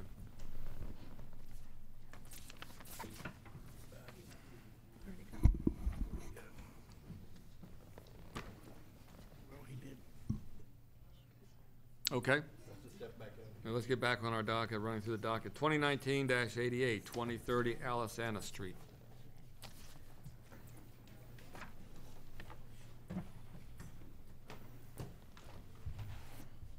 Good afternoon, Mr. Chairman. Good afternoon. Uh, For the record, Joe Woolman on behalf of the applicant. He's standing to my, actually, I'm standing over here if you don't mind. He's standing to my right. Let me get Raise your right hand. client sworn in. You swear or affirm the testimony that you're about to give this hearing will be the whole truth, nothing but the truth? Mr. Woolman, we have this to use premises as animal clinic with short-term convalescence. Is that true? It is. Um, It's, obviously, from your reaction to that, it is a little bit of an unusual case.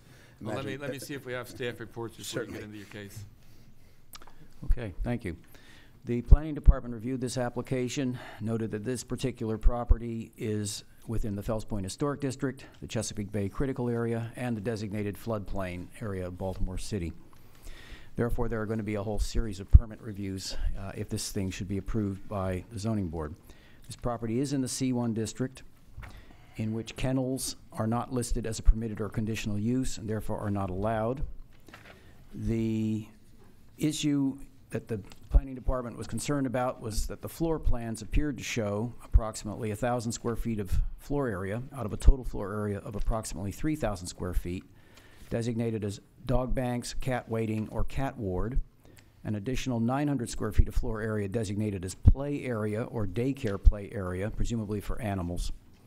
And this would indicate, combining these two categories or groups, approximately 60% of the floor area of the proposed use would be used in a way that the applicant would need to certify would not qualify for the definition of kennel, which is a business where three or more dogs or cats over six months old are boarded or maintained by a person other than the owner. The applicant is also proposing external modifications to the building, which will require review by the Commission for Historical and Architectural Preservation. The Department of Planning is recommending that approval of this application, if granted, be subject to the conditions that the proposed animal clinic is completed in accordance with an authorization to proceed issued by the Commission for Historical and Architectural Preservation, and with all permits related to the location of the property in the Chesapeake Bay Critical Area and the designated floodplain overlay district. Thank you. Okay, and Mr. Woolman, were we to approve this uh, appeal, are those conditions acceptable to you? Yes, they are. Um, I can state for the record, we've already been to CHAP regarding this property, uh, regarding the commercial redevelopment of this property, and I'm confident any design changes we can uh, have reviewed by staff at CHAP and, and continue to proceed under the same uh, notice to proceed that we've already received from CHAP. So tell me why we don't have a kennel here. Well, first I'll, I'll hand out uh, for the members of the board and staff uh, some renderings and floor plans for your reference. Um, As you've noted, this is uh, an unusual case in terms of the use. Um, Imagine that, I have an unusual case before this board. Um, The code doesn't specifically address uh, what our proposed use is. Animal clinic, as the staff report has already indicated, is a permitted use in a C1 district. A kennel is not permitted in a C1 district. I'll give you the definition of those two things in the code. Animal clinic in general means an establishment used by a licensed veterinarian for the immuniz- immunization, diagnosis, or treatment of animals or for surgery on animals and for boarding animals during their treatment or convalescence. Uh, Animal clinic does not include a kennel. Kennel is defined under the code as a business where three or more dogs or cats over six months old are boarded or maintained by a person other than their owner. Um, With me is Mr. Vincent Bradley, who's the CEO and founder of Heart and Paw. Uh, I think Baltimore's going to be very excited to have Heart and Paw come into this market. They are a Philadelphia-based company. He can speak more to the history of the company and to his background. It is a veterinary-based uh, business. There is a veterinarian who manages this entire uh, business. I asked uh, on a call with him recently to, to list the services that the uh, clinic would provide, uh, and they are in sort of order of importance and, and in terms of uh, amount of use of, of the structure. Number one, a veterinary general practice. Uh, number two, an urgent care facility. Number three, an outpatient surgery facility. Number four, grooming. Number five, daycare. Number six, there will be local retail for pet related items. And, and, and finally, there will be an overnight, uh, what we refer to as a pet enrichment uh, treatment aspect of the business. Uh, this is not your typical uh, kennel in terms of what people think of when they think of kennel. Uh, we've reached out to Councilman Cohen uh, regarding this application, and he was excited and felt that this was a, a needed amenity in the neighborhood and thought it was a great plan for the property. Uh, we've also, as of today, uh, Ms. Denise Whitman, who I think some of the board members may be familiar with, a, a longtime community activist uh, in the Fells Point area, happens to live right across the street uh, from this facility, and we were able to meet with her prior to appearing before you. And I'm pleased to report she gave me permission to speak for her. Uh, that while she initially had some concerns, um, Mr. Bradley uh, more than sufficiently addressed those concerns, and she is in support of the request. I've also had conversations with Mr. French regarding the planning department's position, and I think he and I are both in agreement that this is uh, sort of the classic uh, round peg, square, or square peg, round hole situation where we've got a code that does not specifically address these doggy daycare type facilities that offer such a, a wide uh, and integrated uh, list of services. Um, I can certainly have Mr. Bradley speak to you regarding uh, the overnight aspect and the integration of all the services. I would note in the eastern portion of the parking lot on the rendering, you'll see a large green space. We're dedicating that to the community as a community dog park, which Ms. Whitman and the neighbors were very excited about, uh, something that's also greatly needed in the neighborhood. But with that, I'll have Mr. Bradley uh, speak to you a little bit about, about Heart and Paw. Good afternoon. I founded Heart and Paw. I most previously was the president and CEO of Banfield Pet Hospital, which you may know is a national business uh, based in Portland, Oregon, where we had about 1,000 locations. When I left there a couple years ago, I really wanted to found my own business that really provided an integrated experience for today's pet parent, which uh, Joe just mentioned around some of our services. Well, yes, it's centered around a veterinary hospital of general practice, which in essence, there's typically in general practice three kind of buckets of services that we just mentioned around wellness care, urgent care, and then outpatient surgery, um, along with integrating that with grooming and daycare and then overnight stay. And so, really, in, in the sense that it's all under the under the direction of a partner veterinarian who will lead the practice, who will lead that center. Um, and we're excited to bring that to Baltimore and Fells Point is really a flagship location for us um, that, that we're you know prepared to invest significantly in what you see in front of you. And I'm excited about it and um, look forward to answering any questions you have. So, so the only over any overnight stay is related to hospital care. No, it's really it's um, not. No, we really really will be uh, a pet parent who may take advantage of our grooming services, veterinary, as well as having their dog stay overnight. And that would be under, again, the direction of the partner veterinarian is part of that. You'll see there a dog bank you saw or a cat ward that's a part of any veterinary hospital that would have you know when you're not treating a pet that's under your care they would certainly be then you, need to sort of have the dogs or cats somewhere and that's what those were for. Um, but really as you look at that and you see i think you saw what you mentioned of a play area et cetera um, you shouldn't think of doggy daycare at least in our context of just dropping your dog off and you know, dogs never never really attended to, et cetera, throughout the day or night. It's really an enriching experience uh, that we believe is uh, a, a, need for the community and a great amenity. So, so um, just to drill in, because it, I get the dog bank. That's where you know my dog just had surgery, so that's where she mm-hmm. sat before she went to have surgery. Yes. But on your plans, it says large dog overnight. Yes. So it, the question is, is that where dogs who have had surgery need to recover overnight and stay, or is that if I need to come and bring my dog so I can go out of town, you're boarding my dog while I'm out of town? Yeah, your dog would stay overnight, yes. While I'm out of town.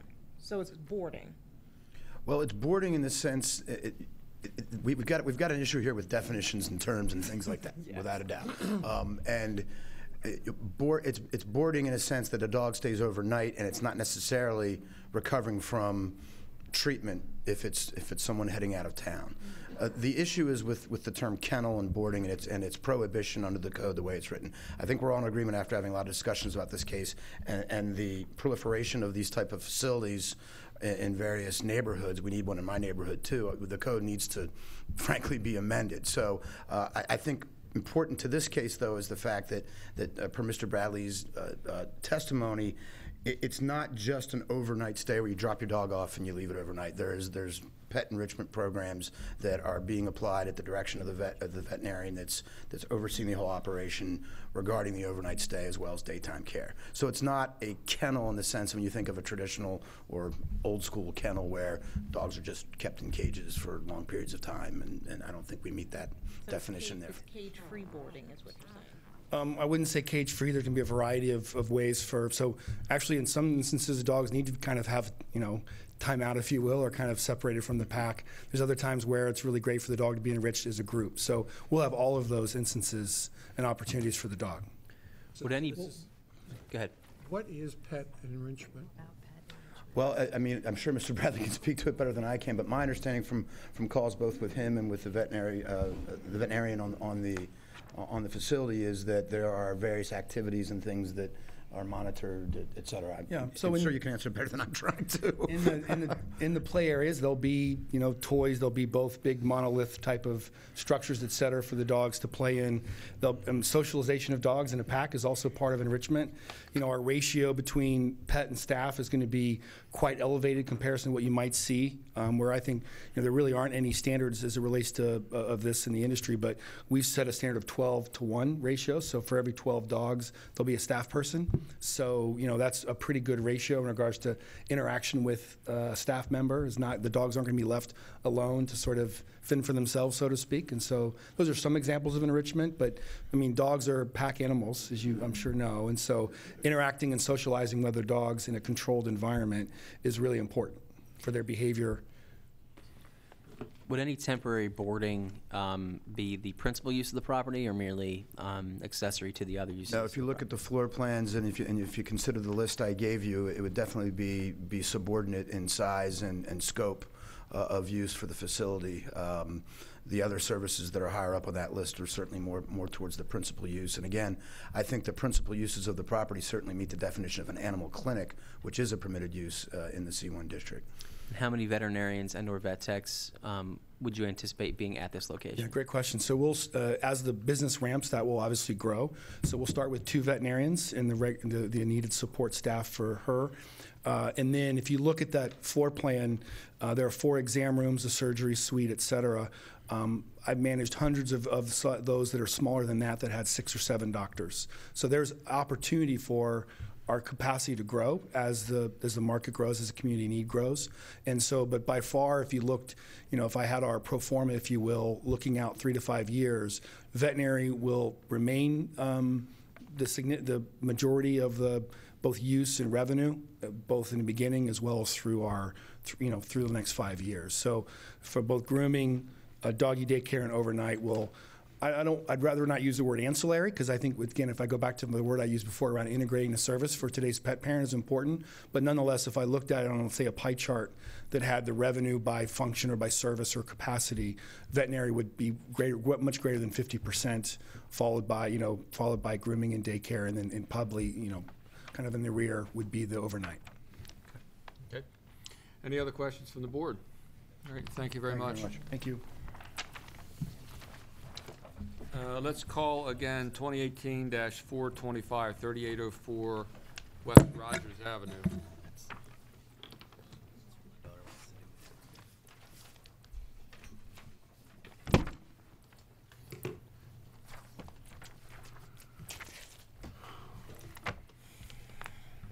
Okay, Yeah, I have it. okay, what do you have for us? Sure.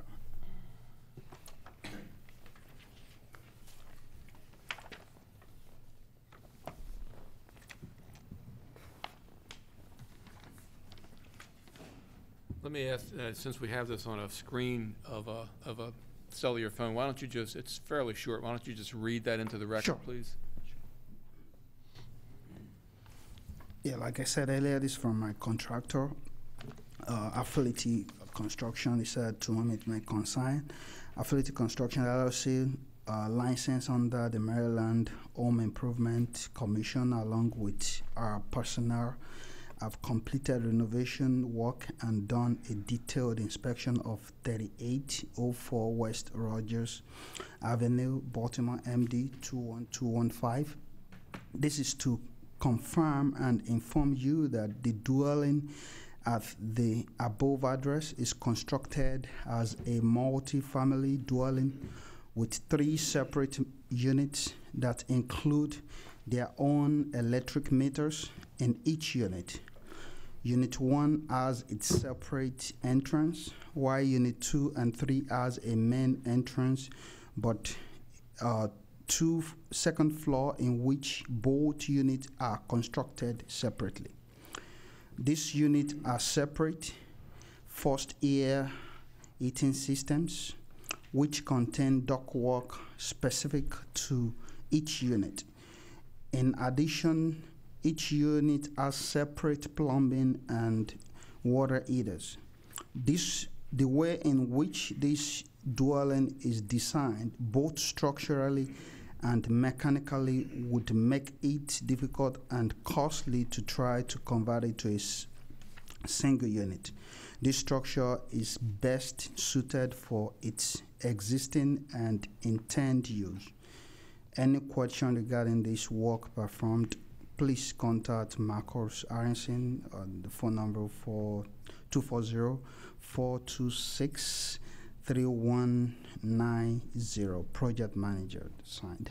Okay, thank you very much. Is there any uh, What does question? that tell us that- that we didn't know? Yeah, because uh, Mr. Derek said I need something to support so that you know uh, from uh, a contractor perspective, since we don't have like a paper tray showing you know some information, uh, especially from BG or you know previous tenant. Any of that information is relevant uh, for the board. Um, For this particular application, the, the, the- the issue is abandonment and/or uh, discontinuance.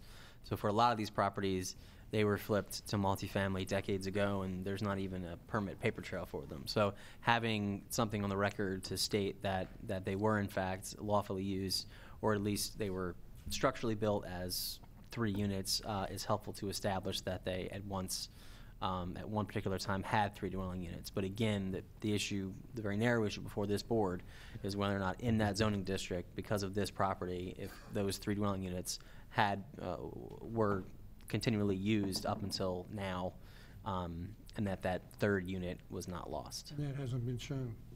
That's up for this board to determine. Okay, any other questions from the board? All right, thank you very much. Thank you, sir. Next case, 2019-90, west side of Elm Street, 172 feet 1 inch uh, northwest of 33rd Street. Cheryl Wilson.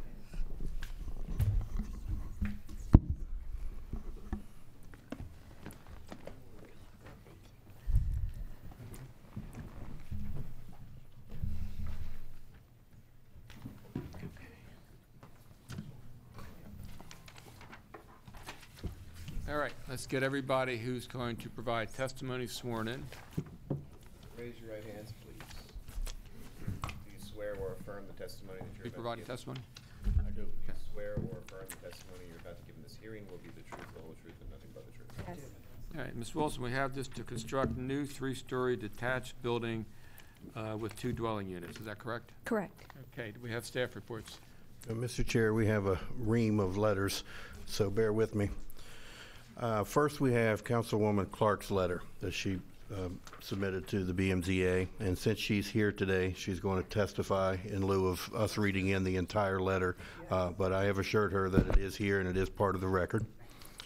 Um, Secondly, we have a letter from the Hampden Community Council, who is in opposition uh, to this appeal, uh, who is, it's signed by Mr. Matt Stegman, who is not here, but uh, we're told that uh, uh, there there is somebody that's going to stand in, has been appointed to speak on his behalf.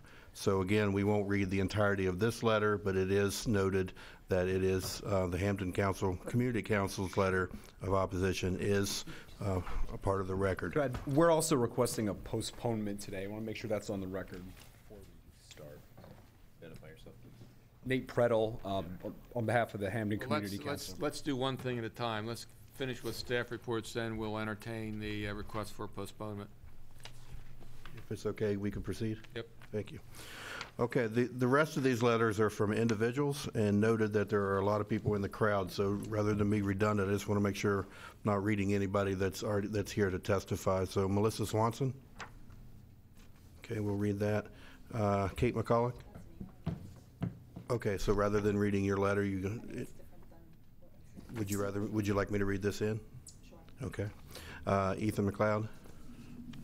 Read it. Philip Gear?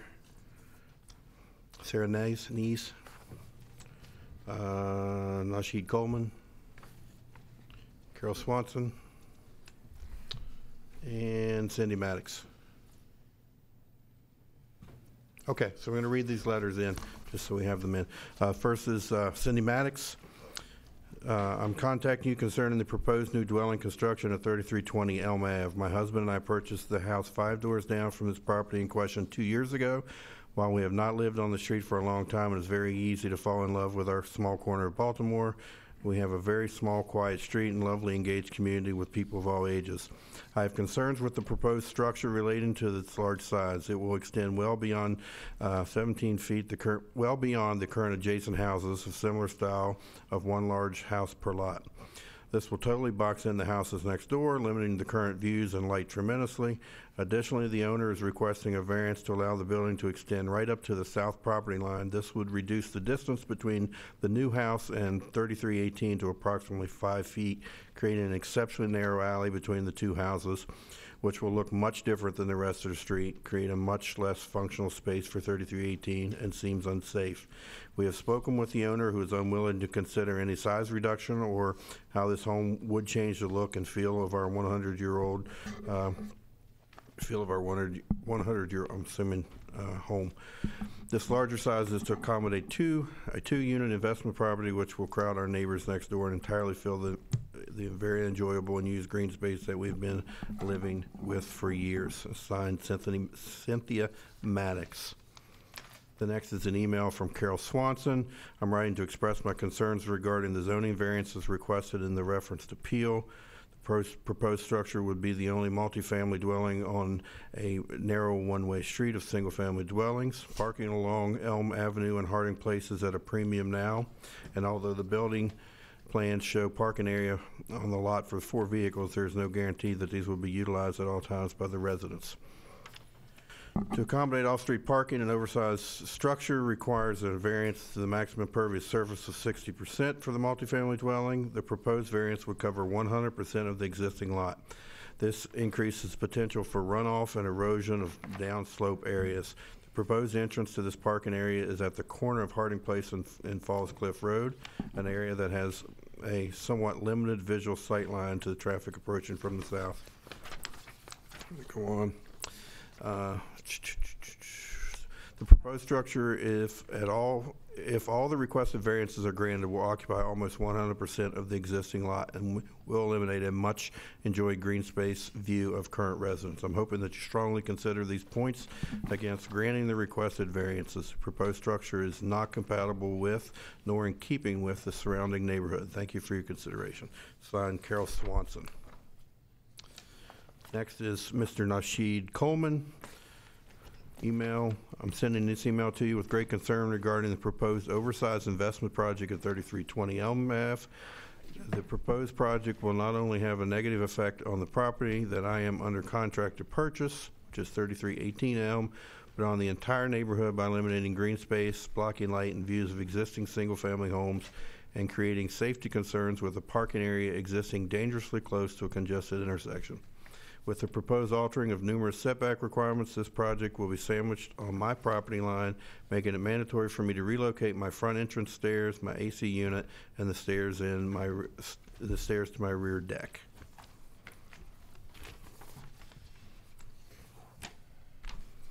This letter from Sarah Nees. I live at 36 3316 Elm Ave and have uh, some personal concerns about the proposed structure. I'm a school teacher and cannot attend the hearing, but I was hoping I could voice those concerns to you here. What I love most about my home is the green space surrounding. The back patio overlooks large trees, lar- a large yard, trees, and a lot of nature. The proposed building extends almost 20 feet beyond the existing homes, which totally boxes in half of our yard.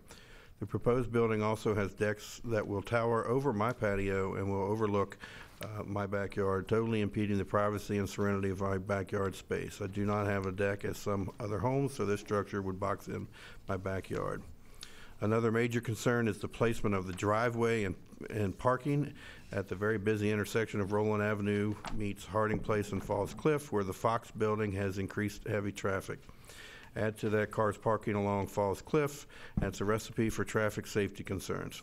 It is often difficult for me to make the turn from Roland to Falls Cliff, and I am two houses from, two houses over from the intersection where the proposed driveway will be. We are sad to see that this tiny bit of green space be, uh, become another large structure. While we do appreciate the efforts to make the front blend in with the existing homes, the massive size of the structure, which will be 100% paved from the front sidewalk to the parking access, is a detriment to our environment. My neighbors across the street spend a lot of time on their front porches, getting in the little bit of nature that is left as they as they do not have backyards. Instead, they have the post office parking lot. Our block has several people who have been trying to find out who owned the lot with dreams of creating a community garden and playground as we have several families with small children here. We already have a massive apartment complex as our neighbor, the Fox Building, and we would like to minimize the impact of adding more renters instead of homeowners to help keep our Elm Ave blocks, Elm Avenue block safe and supportive. Again, Sarah Nees and C.J. Johnson. Next is from Philip Gear. I purchased 3310 Elm Ave two years ago with my wife. Our block is small with houses on either side of our tiny bit of elm. We know our neighbors well and enjoy cookouts with them, passing time on the porches, helping band together to report on longstanding drug houses, etc. In short, we fell uh, we fell in very quickly with our small corner of Hampden and Baltimore. My concerns for the proposed construction are as follows: one. The back of the house would extend 17 feet beyond the houses on the side of the block, drastically limiting our neighbors' views of light.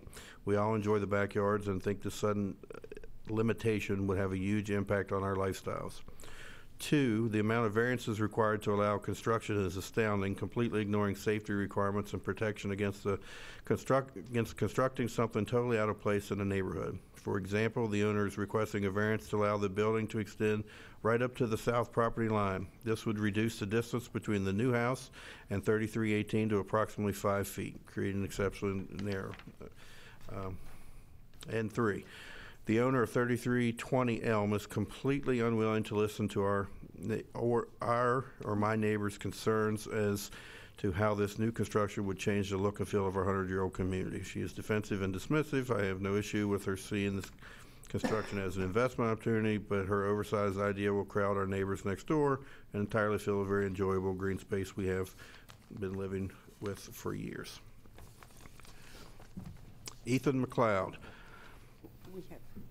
A developer, Cheryl Wilson, has said that the plans to build a new structure on the property with two dwelling units, one with one of which would have would be a house and the other which would contain two condominiums, all with separate all with separate entrances.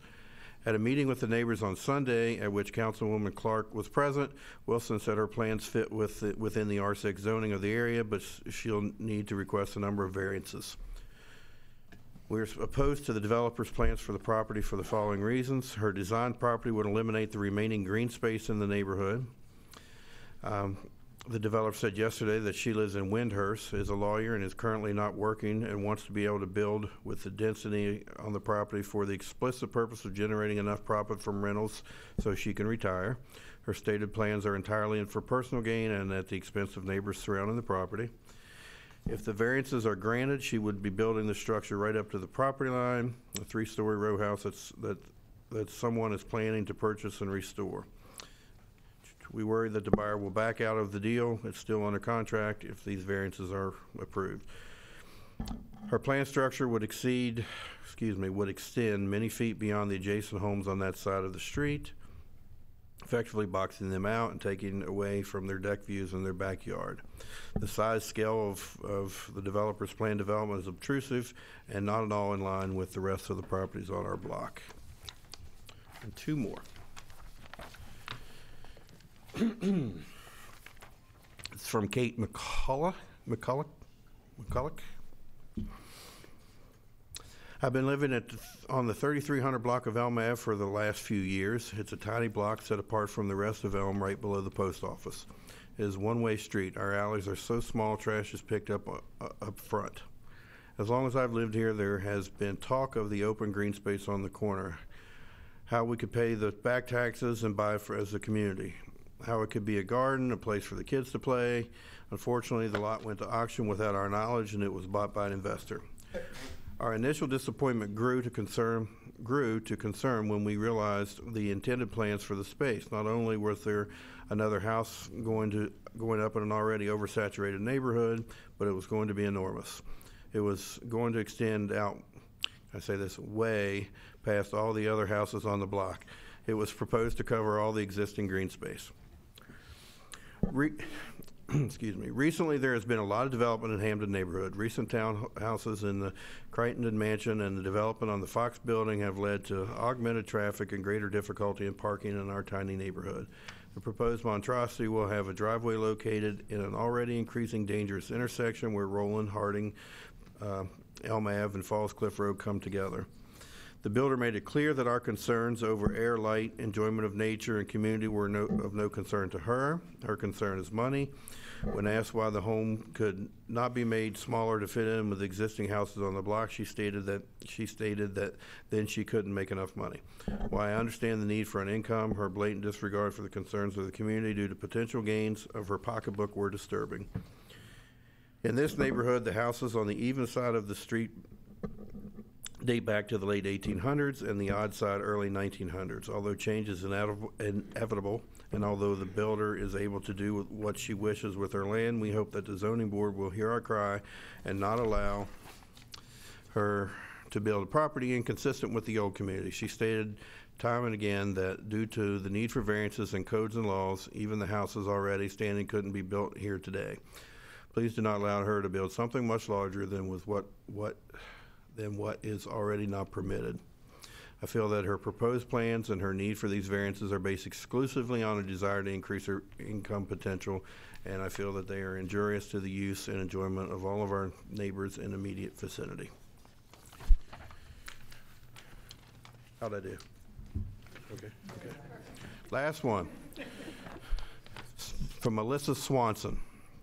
I'm the resident of 3323 Elm Avenue. Part, uh, part of, uh, part of, I decided to, part of why I decided to live here was because of the green space that is currently at 3320 Elm.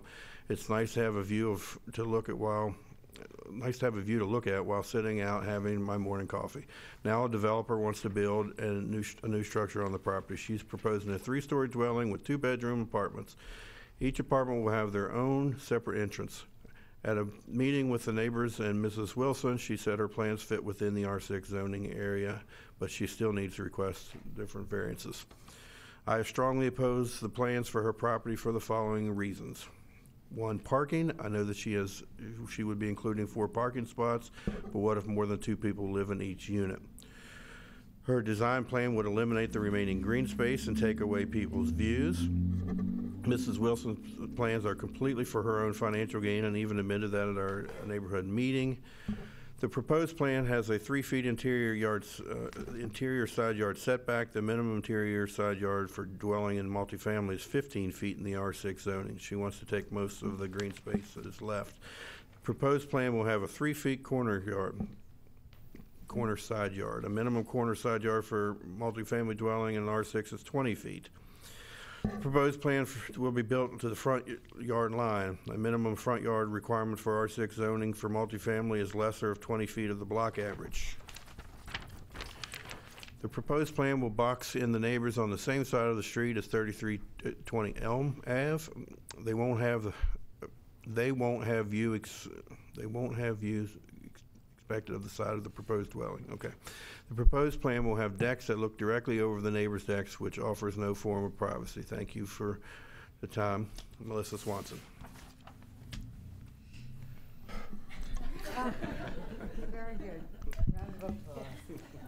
Especially that Mr. wall. French, please. Thank you. Planning Department reviewed this application, noted that this property measures approximately 23 feet 3 inches wide, an average of 88 feet 4 inches deep, and it is currently unimproved, as you've heard. Uh, There is no record of there ever, ever having been a structure on the property.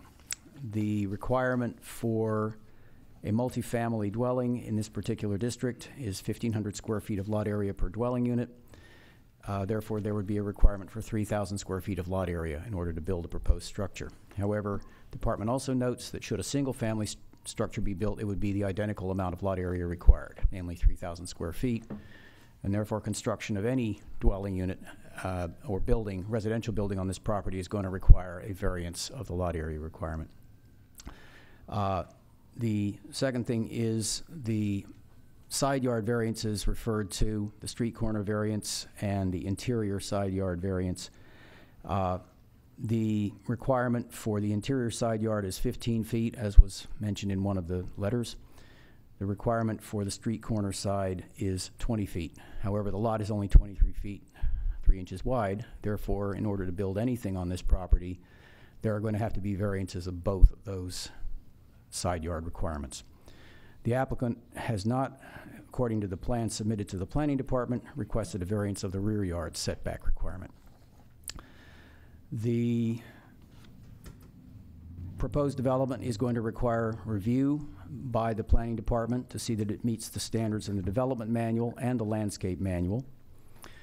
The department is recommending approval of this application, subject to the condition that all improvements to the property are completed in accordance with plans approved by the Department of Planning, in accordance with the referenced manuals.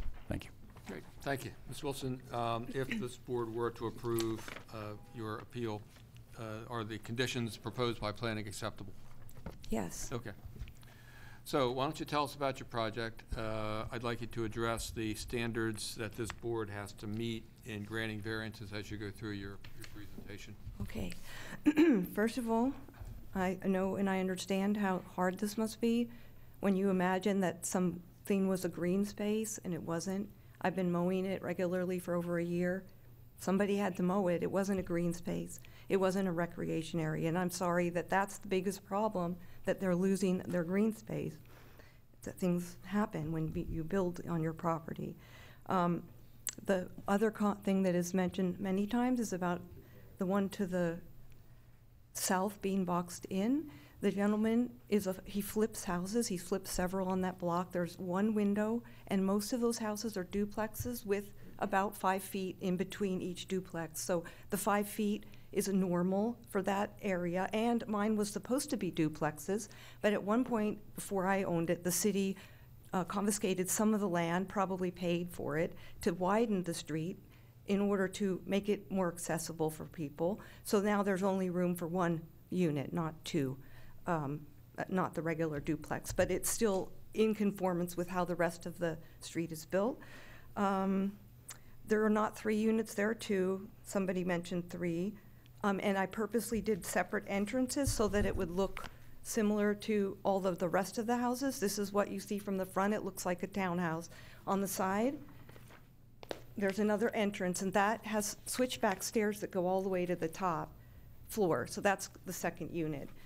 Um, it's very, very attractive with high-end materials, HardiePlank instead of aluminum siding, brick around like all the rest have for the porches, um, HardiePlank shingles, beautiful quality. Um, Dave Schilling is the builder, and he's very, very familiar with the city. He builds here a lot. He's been building here 30 years. Um, he's had other places in Hampden built as well. Um, the driveway, yeah, the city, we, we were out at the site, and there are three um, roads that connect, come into that area, and um, Martin, who's part of the HCC, suggested, well, why don't we have the DOT paint part of that red? There's a strip where it would cut down on a lot of the congestion. The community didn't want it. They were more concerned with being able to park them with safety. So safety, I don't think, is one of the main concerns. Um, it, uh, my house is not 100 feet long, it's 56 feet. Um, light is not an issue because the whole section, the whole length fa- faces north. So east-west, everyone has full east-west sunlight in, on their houses. I sent a picture, I'm not sure if you all saw it yet, but this is um, where my stake is circled down there.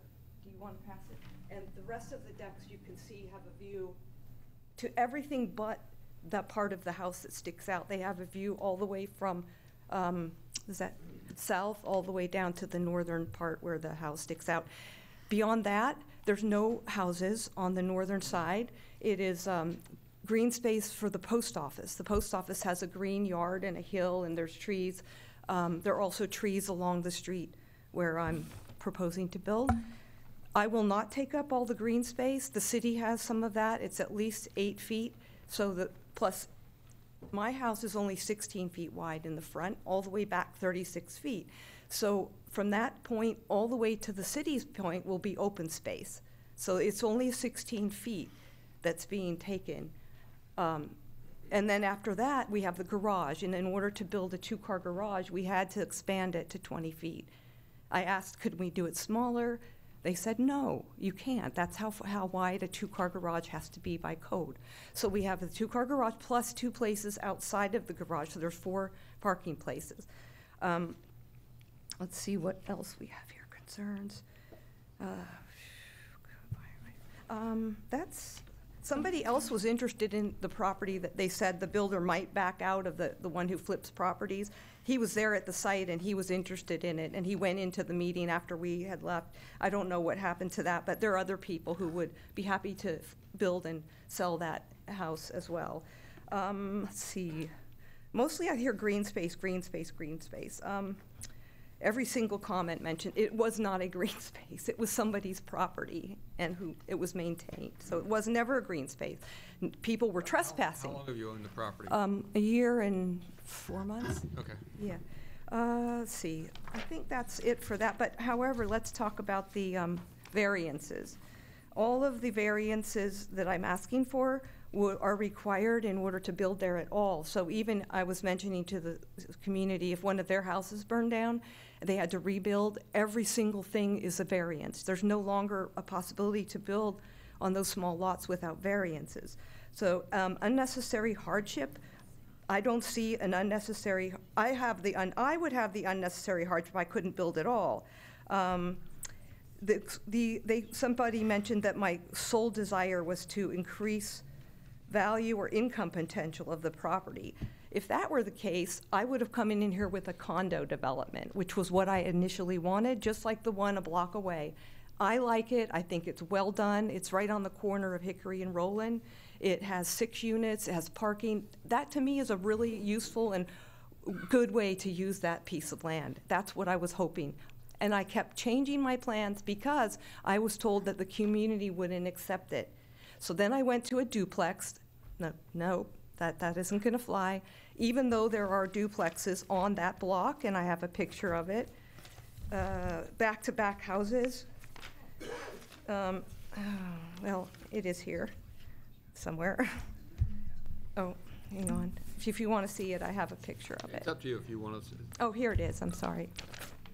Um, So down at the end, there's two or three we'll need you to talk into the mic there. At the very end of the street, um, there are two or three houses that have back-to-back houses, so their single-family back-to-back is also um, allowed and typical for that area.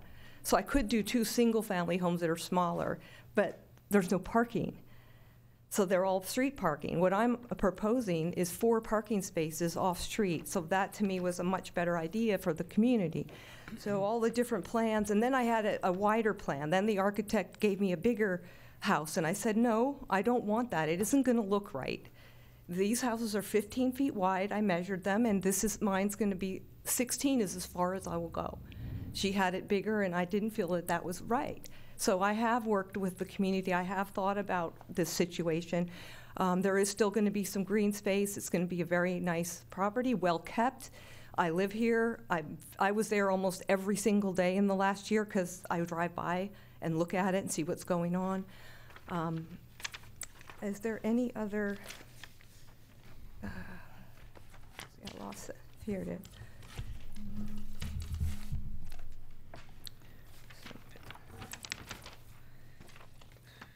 It will not be injurious, injurious to use and enjoyment of other property in the immediate vicinity, and it will increase the value of all of the homes by quite a bit.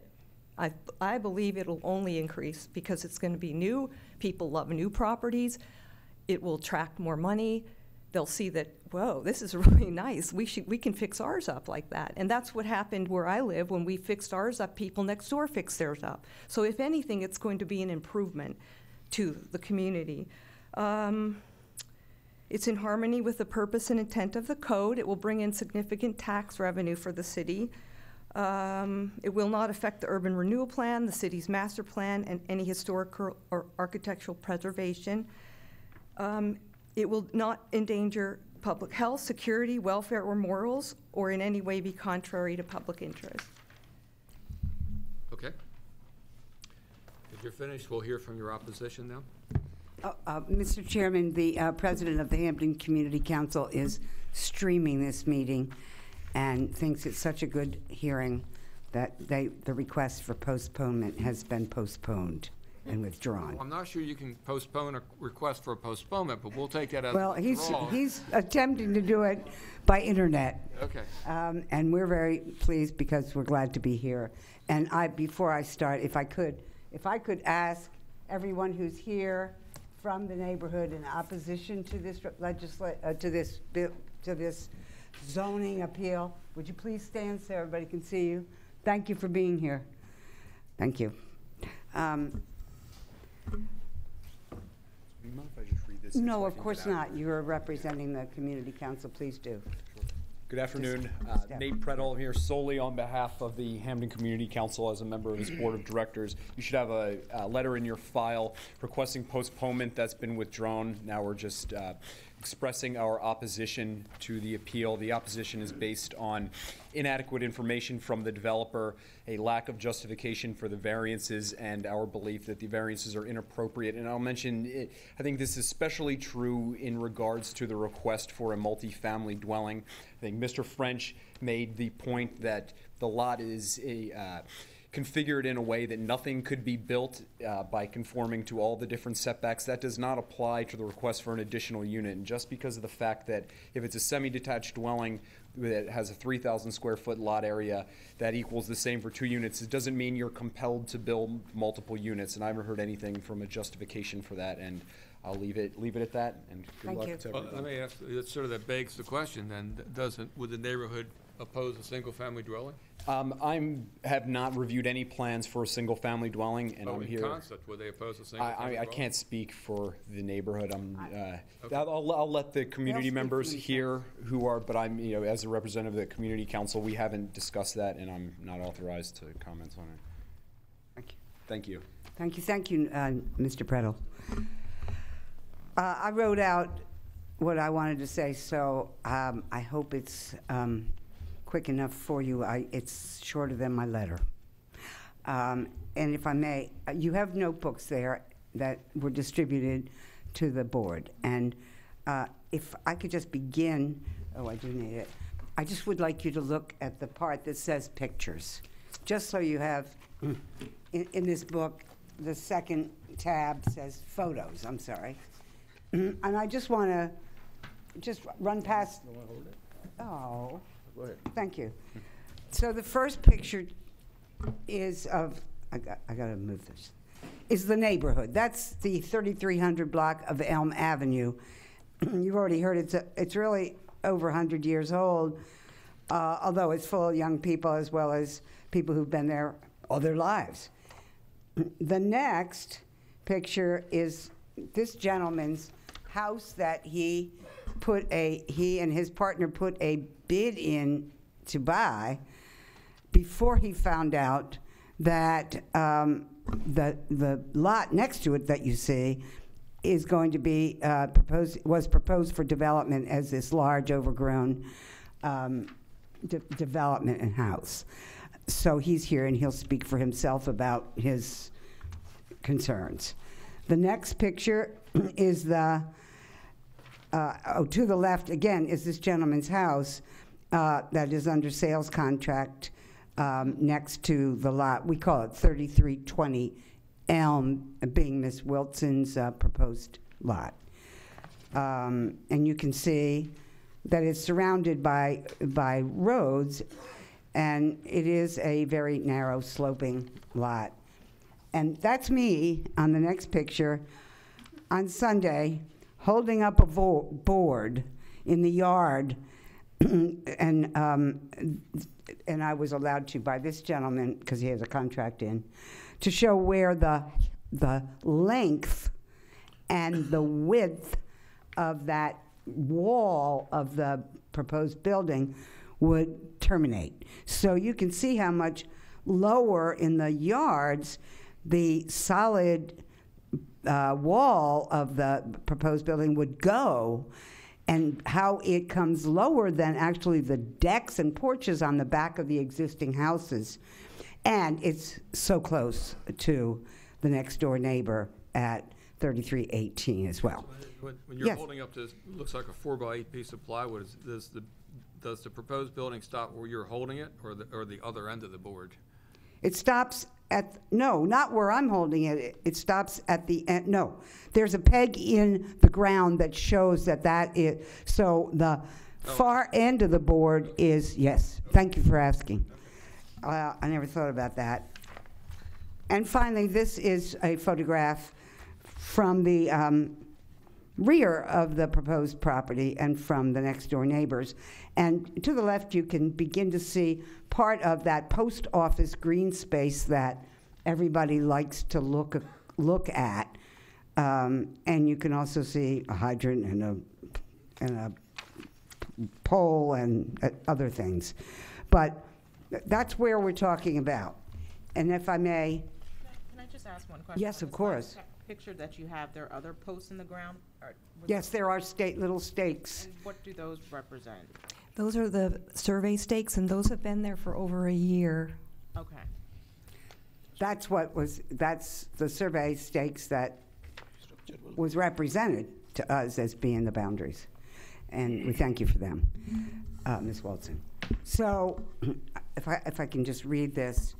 Um, Good catch.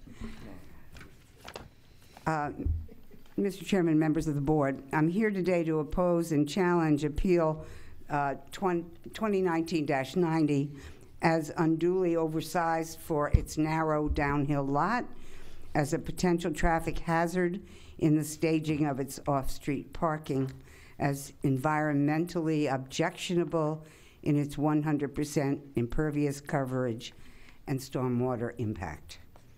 We have here one more discouraging example of seeking to profit from another Hampden green space by developing it within mere inches of its boundaries and seeking to profit from the traditionally harmonious neighborhood, its very plans diminish.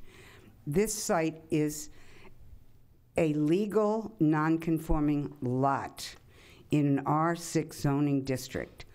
Legal because it shows up on city government maps with boundaries and block lot numbers. Non-conforming because it fails to comply with the lot area or width required in this B6 zoning district. In R6, we've already expressed, it's already been said. In R6, one dwelling unit requires 1,500 square feet of uh, land area, um, to thir- 3,000 feet. And this particular lot uh, has 2,053 square feet, uh, 33% short of being um, what is required. That's a big gap. In any uh, event, two dwelling units cannot be built here. The code indicates that in such legal non-conforming lots, the right to build is limited to a single-family dwelling unit which may, quote unquote, may be erected if the lot meets all other requirements imposed by code. No law compels approval of any development, and we seek denial in the, in the appeal's entirety. In other words, the code allows, and you know this, but I'm saying it for, for all of us here. In other words, the code allows the board to approve a single-family dwelling unit, nothing more. The board can deny the entire appeal if it chooses, and we hope so. But if it approves the single-family dwelling unit, we ask the required compliance with other code requirements um, by denying, restricting uh, the interior corner lot um, from 15 feet required to zero or three feet um, proposed, by reduction of the corner yard lot from the 20 feet required to a three-foot setback, and increasing the impervious surface from 60% to 100% of lot coverage. So, to approve variances, again, I think we all know this and it's been mentioned, but let me say it again. The board must first make findings, for example, in this case, just the way we do in the city council. Findings that without a variance, the developer faces unnecessary hardship or practical difficulty in developing the property, which is caused, the difficulty, by the requirements of the zoning code, not by the intentional action or inaction of any person who has a present interest in the property. In a community meeting of April 14th, the applicant, I was there, assured a group of neighbors of her professional knowledge of city zoning. With such expertise, she knew what she was getting into, but took the intentional action of buying this property nonetheless. She knows this field and that she knows the zoning code. The hardship and difficulty, if any, are self imposed. In addition, the board must find that the variance is not based exclusively to increase the value of income potential of the property. We've all been to the same meeting, we've all heard the same words. I just happen to have it here, so let me say it again. In that same April 14th meeting, the applicant rejected a suggestion to build just one dwelling unit on the lot instead of two, explaining that she intended this rental income for her retirement. It is clear that the variance is exclusively to maximize the income to retire. Finally, the board must find that a variance would not be injurious to the use and enjoyment of other properties in the immediate vicinity. Residents on the west side of the 3300 block of Elm Avenue have complained most of all about the excessive length of the proposed new building and how that long solid wall would wall out their own row of rear porches and decks from current views of the post office green space to the north. It's just a wide open, lovely, country like village environment. The wall would also interfere with the neighbor's privacy by allowing new residents to look directly down, down on activities on those porches and decks. Nobody's expecting a peeping Tom, but it's an uncomfortable feeling when people can do that and you can't see that. You people can watch you and you can't see them. Immediately next door, the contract purchasers of 3318 Elm Avenue knew nothing of this proposed development until the April 14th meeting. Instead of a green lot and view, they now face a three foot setback between themselves and a long, high wall for them, too close for comfort. Mr. Chairman and members of the board, please deny this repeal, this uphill. and thank you for your attention and consideration. Thank you. I'd like, I'm, oh, sorry. I'm sorry. I'd like to just let you know that 3320 is the official address. It, I was given that on March 20th by Wesley Shaw in um, right of way. So that is official, 3320. Okay. Thank you. Uh, We've been using it. Uh, who, how many more people are intending to testify? Okay, Three are co- uh, testifying. okay. And, and we, if- we, we quick. get what we've heard so far, so if, if, we don't need to have it repeated, but please, you know, Uh, feel free to talk. but- important for the next-door neighbor to be heard. 3318, uh, uh, my name is Javed Nasir. 3318 um, uh, Elm Avenue, What's your name? J-A-V-E-D, last name N-A-S-I-R. I'm under con, Nasir, N-A-S-I-R.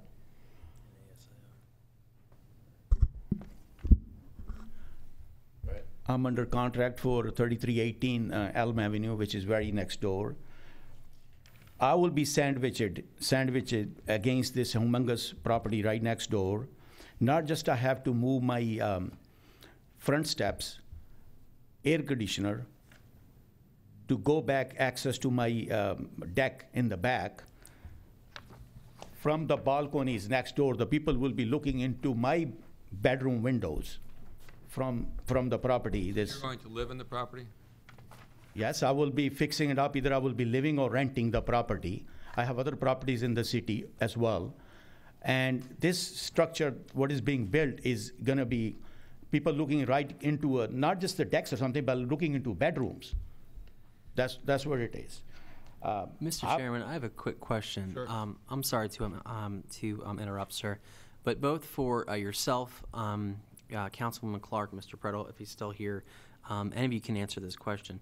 This application requires a number of different variances. Correct. Rear yard is not one of them. So there's no rear yard variance requested under this application. That's correct. So in an R6 district, there's a 25-foot requirement for all the yards. And they have 31.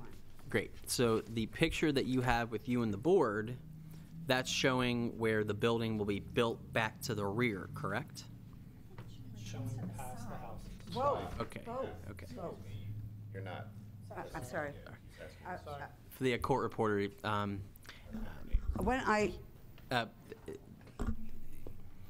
when I took that, had, had that picture taken, it was my understanding from our meeting and, and little talk, walk around the property with Ms. Wilson, that that stake represented the rear of the main structure that she was propose, is proposing to build, and the side of how, and the side of the main structure, so that it was both things, and there was a, in the ground, there was, that's as far back as the main structure goes, and, the, and, and as far, uh, uh, west, east, as far, cl- cl- as close as it gets to um, the next door neighbor. 20 feet back.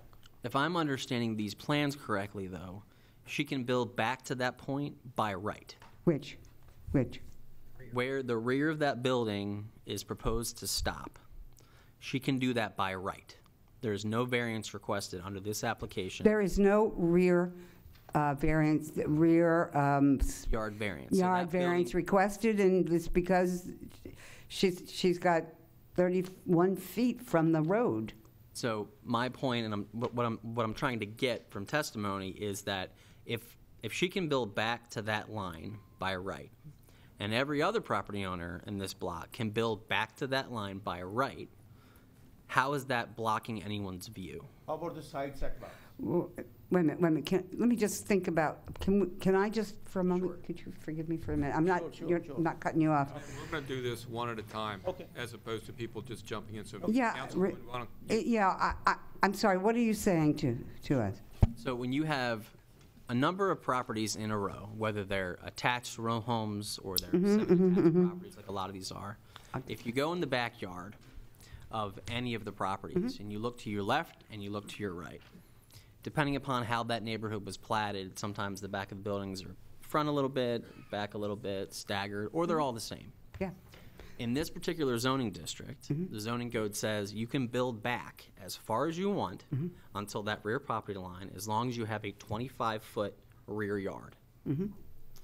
These plans show more than that. They allow a 31-foot backyard. Yeah, they do. Meaning that if this corner property was built back all the way until that 25-foot mark, it would still block everyone's view on that block, but they could do that by right. But they wouldn't make, they wouldn't be able to because of the other variances that are included in an R6 in that district. You would have to meet the width requirements. Sure. Yeah, 20 plus 15 now. Uh, I, that's not going to be hard to do. You would have a very long, very skinny.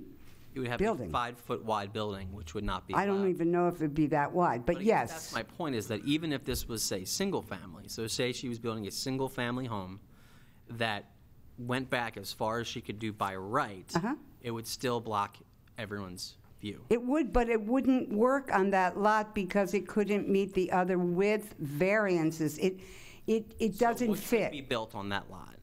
Maybe nothing, sir. That's how it's been for 200 years. That's a very difficult proposition. It's not in the law. I mean, I know there have been discussions about this, and I went through and I had a very good pertinent, let me just say, I worked with planning a little bit to scour the code, to make sure I wasn't missing some, something.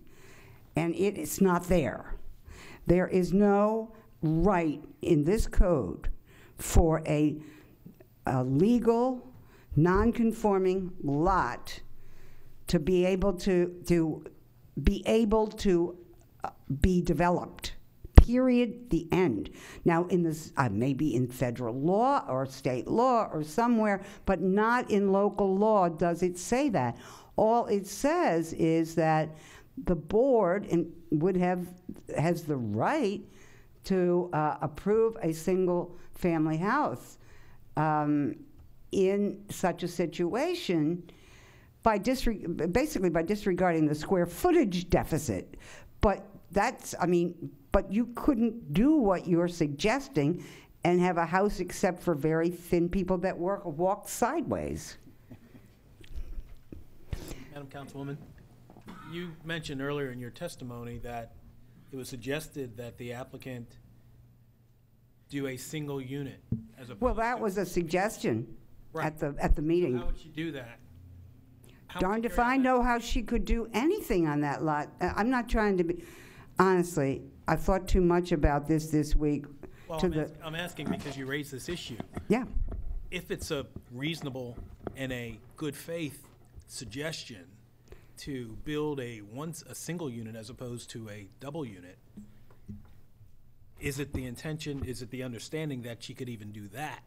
Because I don't know if she could, but, and we didn't. does it make, is my question. Well, it was something that was called out at a meeting of 20 people Okay. in a living room. So I, I don't know who said it, or maybe a couple of people said it, but we never really picked up on it. But, but just the idea of the lack of compromise, the lack of consideration of maybe we could do this or that. And frankly, I- don't know how you're going to do anything on that lot except let it be God's green earth because of the shape of it and the location of it. And it's a non conforming lot. But then who would be responsible for maintaining that lot? We, the neighborhood will be glad to testify a- after what they heard that they've been maintaining it until it was purchased. We don't have to, you have your turn and you can say that. But that's who, who's been maintaining it. And 10 years from now, when neighbors, some of which have moved on, 10 years from now, everything. I, I- I just, uh, it just strikes me, I, I think we're getting very speculative at this That's, point. Let's, let's continue. that's a reach. That gets philosophical. Yeah, let's continue on with the testimony. Ju- Just to, just to answer m- Mr. Fields' uh, uh, question, that someone brought it up at the time um, to Ms. Wilson uh, when we were sitting in a meeting that if um, you, you are willing to put a structure which is similar to each each house over there, like if she going, ba- then she don't need to go actually go 20 feet back further from my house and three strokes story high on the side, no, with no setback, side setbacks, And uh, someone suggested that why not put a single story house there instead of putting this humongous structure with two, that you need garages, you need everything else. That's why she has to go back so far and she has to make it so high and no side, side, side setbacks that people will be looking into my house privacy. Well, That- let me, let me ask you the same question I asked Mr. Prado. If we were here today on an application for a single-family home, would you oppose it? not sure this time what kind of structure she's willing to put in with the, with the setbacks. If it, if the, if the Baltimore city allows a, what the front of the lot is narrow or the back of, back of the lot is how big is it? Eh, If Baltimore city allows a, it's, it's, it's the same way, familiar, same size with the, almost the same way with the other houses. And all the neighborhood and everybody is okay and Baltimore city is okay, then I will be okay as well. That, that, that's what it is. I'm saying with the side setbacks, like there's a three-story structure or two-story structures right next to me within five feet. There's no other house like this. The, all the houses are the same way. Increasing the value, I don't know what value she, Ms. Wilson is talking about. Where does increase the value when people are looking into other people's privacy? Okay. and they're going this high. And the, sh- Ms. Wilson also said one thing. There's a there are people this, uh, the side uh, the, the lot goes in all the way in the backs, and people have built on it two stories or something. Maybe the garages or something far away on a Falls Hill Drive or Falls Cliff Drive in the way. On the left side, maybe six eight houses down. Right in that right in that corner where there is a there is a Roland Avenue and the Falls Cliff and Harding Place. Have someone driven from Harding Place in that area? That area is also all, already crazy as it. I myself cannot turn. It's hard to turn from Harding Place to Elm Avenue with the open lot that I can see what is going on. When there's a humongous structure there, who's going to make a turn over there? How hard is it? Okay. Is this the, is this the home for which you have a contract? Yes, on the corner, 3318, yes. How many I, I mean, can I come closer? I, it's hard for me to see. Is this it? Yes, this is the one, yes. How many levels is that home? Two story. What is this up here on the top? Attic. And it, does that have a window? I, I'm not sure this time because I bought it from the bank and we're going on a settlement on Have you seen it? I seen it, I was inside, but I did not notice all the way, I didn't go all the way. It looks to House me is a like- Bad, bad shape. Uh-huh. It looks to me like there's a window on the top level that you indicate attic space. Uh-huh. You've been in the property? I've been briefly inside for fif- ten minutes or so. How long you been in it? You've been on the top level? Um, I don't think so, no. I was with my, uh, with my someone, a neighbor called and they said that since I bought it from the foreclosure, the neighbor called the next door and said, someone is in your, uh, uh, someone moved out, so you better come and secure the property. So I went with my contractor, he went in there, uh, the person who opens the door, he opens the door and I put a lock lockbox there and I put a lock there. So we secured the house. Okay, let me ask you this. The house next door, looks like there's attic space there as well? And this is the property that you have a contract on, right? My house is on the corner. I understand that. Yes. Next to that house Uh-huh. seems to be a similar one with uh, maybe attic space, but it looks like there's a window at the top there as well. Okay, uh-huh. I mean, are those levels utilized, to your knowledge, for living? I, I'm, I'm not sure. I'm not sure. It's a What is, it- what is your intent with regard to this particular property that you have a contract on? I will fix it up. To what? I will rent it. Are you gonna have two levels? Are you gonna have three levels? What are you gonna do with the third level? Family home. There's no two levels or three levels on it. What is the level about? Two stories? Well, you, you've just mentioned there's gonna be a three-level s- uh, home next door to you. Uh-huh. I'm asking you how many levels are in the home that you're gonna own? And what you intend to do with it? I will fix it up and rent it or live in it. Is it gonna be a finished third level? I don't know if it's a third level there or not at this point. Okay. I- So, Uh, so, You're not so understanding on my the side, question. since you have the Mr. picture, Chairman. Mr. Fields, if you look on the side, where the air condition is and the steps are, I have to move those as well. I'm not asking about that. I No, no, heard I have to move it, and then within five feet, right on the property line, with the property line, Ms. Wilson is trying to build a structure all the way up, right next to, with the, n- not even, and no setbacks. You need to use a microphone. Okay, yeah, you need to use the microphone. I think, thank you very much. Thank you. We have, a- we we have, Well, hold on a second. Oops. Miss- Are you finished? oh, did you get, Okay, okay, did you get the, I thought you were finished. okay, I just want to make sure. I am. Okay, Okay, okay. all right, next. I- I'm just trying Uh, to. my name's Clifton Johnson. I live at 3316. Uh, I just want to talk about the traffic. Falls Cliff is a designated truck route. They're larger trucks. Have to do uh, multiple turns, which stops traffic and also causes accidents. Uh, I do have a map. I only brought four of them. Wasn't sure how many people were going to be here. Uh, but as you can see, Falls Cliff, to make that U-turn. Like I said, 18 wheelers, dump trucks, uh, even my Chevy Silverado. I have to do a multiple turn, three-point turn. Uh, the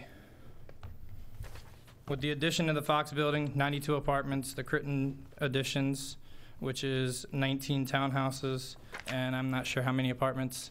Uh, there's more and more traffic coming up and down there, so it is a very, very busy little uh, intersection, as she uh, stated before. And uh, just so you have it on the record, um, I cut the grass before those stakes went in the ground. Um, Do you want us to make this part of the record? Uh, yes. And, and let me ask you the question, I'll follow up um, with my co-board member. You- You're one house, you're next to the gentleman who was just testifying. Yes. Is your house a three-story home? It is a three-story. Do you have a finished third, is it a full height, third floor? Yes. Okay. Thank you. Next. Thank you. Hello, good afternoon. Uh, my name is Kate McCulloch, and I also live on the block. Um, I know we've heard a lot about the green space, um, but I'm here today to talk a little bit about the environmental concerns that we have as a neighborhood um, regarding this space. Um, so, essentially, beyond the views and the place for the kids to play, which we know is, you know, it is what it is. Um, there's just been a lot of you know in baltimore a lot of publications and information about climate change and how it's affecting you know our city um, the, basically the increase in impervious surfaces and development um, essentially is leading to overwhelmed infrastructure and flooding um, i know cj can you bring that photo um, sorry so this property here on the corner there are two storm drains here um, I don't know if that if you guys can see or if whatever, but there's two storm drains there. Um, and essentially, our concern is that there is already a lack of green space in the Hampden community. There's been a lot of development, um, and we are located close to the Jones Falls. There's been a lot of sewage overflows related to lack of impervious space. So the fact that Ms. Wilson intends to cover 100% of the grass with a structure um, you know, it, we don't want the sewage runoff tainting Baltimore. Um, I know that in the subtitle three of the zoning code, it talked that variances cannot be injurious to um, the community and cannot be detrimental to or endanger public health or safety. Um, and I feel that this property would increase the already overwhelmed storm drains um, in our community, leading to the structured overflows, one of which is located in the Fallsway fairly close to where we are to be overburdened. Um, Baltimore Magazine recently just published an article in relation to this. Um, I guess just to follow up, I mean, you know, one of my neighbors here said that there there are already so many apartments, condos, homes for sale. There's been so much development, and I understand, you know, people have the need to make an income. However, there's not going to be any more green space once it's gone, then it's gone. Um, so, you know, a place for our kids to play, a place for us to look out when we have our morning coffee, you know, that does mean something to our community, and we hope that you'll take that into consideration. Okay, Thank you. Anyone else from the opposition? Well, we kept it very. I would like to ask a question. Okay. We're, we're not here to answer questions. Uh, it, it's in relation to the question you posed to us about whether or not we would accept. You've gotta use, if you're gonna. Uh, I'm sorry, I, Okay, hold on, hold on a second. Let's, let's get you, state your name for the record. my name is Alicia Cambroni. Do you need me to spell that? Um, no. Okay. Thank you for uh, humoring me here. Y'all had asked. Let everyone have their, their ability to, to voice their opinion. Thank you. Um, y'all had asked if we as a community would be more supportive the, of the idea of uh, Ms. Wilson building a single family dwelling unit. And I think that everyone's concern was about the size of the proposed two family dwelling unit being as large as it is to to accommodate that, to accommodate the parking for the extra units for the extra people. So my question is would would anything smaller be possible? Like, is, Well, this is exactly why, when, before we started, we suggested that the parties talk, uh, because sometimes. excuse me, I'm, I'm sorry. Thank you. Sometimes the parties can work through these issues, uh, but we're, we're now at the point where we've had a hearing, and and this board's now going to make a decision. Mr. Chairman, if I may, I think we have a consensus in the community. We can't figure out how anybody could build a house on that piece of land, which is, has a special definition because of its, its being on the map, but not being a practical place. And we- We understand. we Thank you. understand legal position. Thank you. Ms. Wilson, you want to address uh, whatever comments you want to address and then, and and finish up? Um, it, one thing that came up several times is that it takes up one hundred percent of the green area, the grass. That's not true. I've already explained that why it's not true. Um, there is a large green space across the street. It's unkempt. Not one person in the neighborhood has ever thought of fixing it, changing it, replanting it. It's a mess. I'm going to call Gary Letteron with Tree Baltimore and have him look at it, see what he can do. It's a large area. It covers the whole, almost the whole block between um, the post office and the Fox building. It separates um, Cliff from the houses behind it that are on Hickory. It's, it's beautiful and it could be improved. So I, I think if people really care about green space, they should look into stuff, look at it, see what can I do, get permission, replant it. We have Roosevelt Park, we have Druid Hill Park, we have um, Hopkins, what's it called? A lot of parks. There's a, pardon me? University? N- No, there's a large park, Wyndhurst, there- Wy- Wyman Right, Park, excuse yes. Me, People in the audience, please. I'm sorry, Wyman Park, Druid Hill Park, Roosevelt Park. Hampden is one of the best-served little areas for parks in the entire city, other than Patterson Park. It's amazing. So I think there's plenty of green space. Okay. All right, very good. Thank you all very much.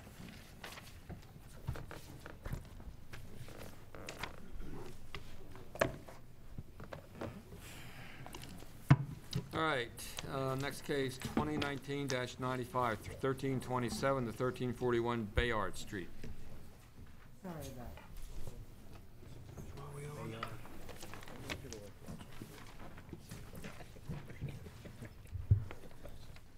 Good Good afternoon. evening. Good evening. It's getting close. It's a joke. Uh, Raise your right hands, please. Do you swear or affirm the testimony you're about to give in this hearing will be the truth, the whole truth, and nothing but the truth? Yes. And Mr. White, Jonathan White? I'm Jonathan White, yes. Okay, And your name, ma'am? Just real quick. Roxanne Humphrey.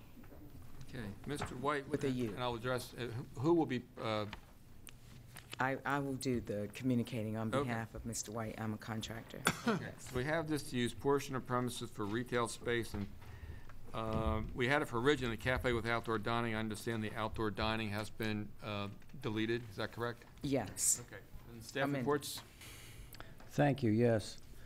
Uh, Planning Department reviewed this application and has also met with the applicants concerning this proposal um, and indicated that uh, it would be a good idea not to seek the outdoor dining under the circumstances and is supportive Sorry, what of, was that? supportive of the amendment of this application to delete the outdoor dining. Thank you. Um, The property is located in the Carroll Camden Urban Renewal Plan area, and this proposed use would be compatible with that particular urban renewal plan, particularly given the fact that it is only going to take a small portion of the lot and the building uh, currently on that lot, which would remain in use as a commercial industrial use.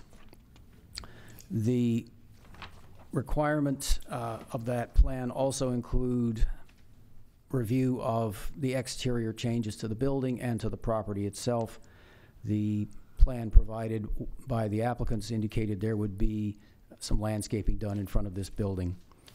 For that reason, the department is recommending approval of this application, subject to the condition that all exterior alterations and improvements to this property, including related landscaping, are completed in accordance with plans approved by the planning department. Thank you. Okay, and Mr. White, since you're the applicant here, um, if those, if if this board were to approve your appeal, are those conditions acceptable to you? Yes, sir. Okay, Very good. All right, so let's hear about the project. Well, uh, thank you very much. First of all, for the opportunity, and I want to thank not only the planning department, but also the zoning committee that has worked so diligently with us in helping us with the plans. Uh, we have been fortunate enough to work with the Small Business Resource Center, as well as the uh, Baltimore Community Development, and they are all in support of what this will add to the Camden uh, Business Industrial Association. Uh, Noah Burke also is in support, and we've, uh, just only by timing of all of the circumstances in Maryland, the death of our, our dear speaker, both the senator, excuse me, Senator Hayes and Delegate Mosby, I was in Annapolis, and they are in strong support of this adding to their area. Um, I just left upstairs with um, Councilman um, Reisinger, and he is going to meet with both Jonathan and myself, as well as some of the others. But basically, this is a actual not only uh, retail and small bistro, but a work development project, as it is set up to be an incubator design. So the retail space, unlike um, what Jonathan currently owns and has a business in the 21230 Southern District. Um, will be set up with a different brand of retail sportswear where people who cannot afford brick and mortar themselves will, like our other incubators and artists and other businesses have around the city, would be able to rent at a low cost a space where they could sell their retail. Um, of course, they would need to meet all of the requirements of the state and city um, tax codes and things in order to qualify for the agreement. But it is going to serve as a way to build entrepreneurship in the southern area. Um, I also had um, the pleasure of meeting with Officer Perry, uh, who is the community liaison for the Southern District, and he's in support of bringing this type of business to what has now been a traditional industrial area. Um, if you look at the plans that were presented, this particular building property is directly behind the MTA holding space for the drivers. It's the building. And so, what they sought out with Jonathan, and actually what motivated him to come up with the idea for the expansion of his business, was an option for healthy eating, which is what the design of this bistro will be. Um, it is not a, a full service kitchen, but in fact, it will still need to meet the health department codes. And so, even after this board makes its recommendation, there will be an array of different types of permits that will have to be acquired, including with the health department, uh, to meet the menu needs. Um, but we have indeed done a community assessment again, recently joining the Community Association for the Industrial Business, and knowing what the urban uh, renewal plan and what uh, some of the options are and the growth of that area, this particular District 30 business clearly fits within that plan. Great, very good, thank you. Any questions from the board? Sure. No, Thank you very much. Thank you. Uh, Next case, 2019 dash, where am I here? 2019 dash 100, 4300 East Lombard Street.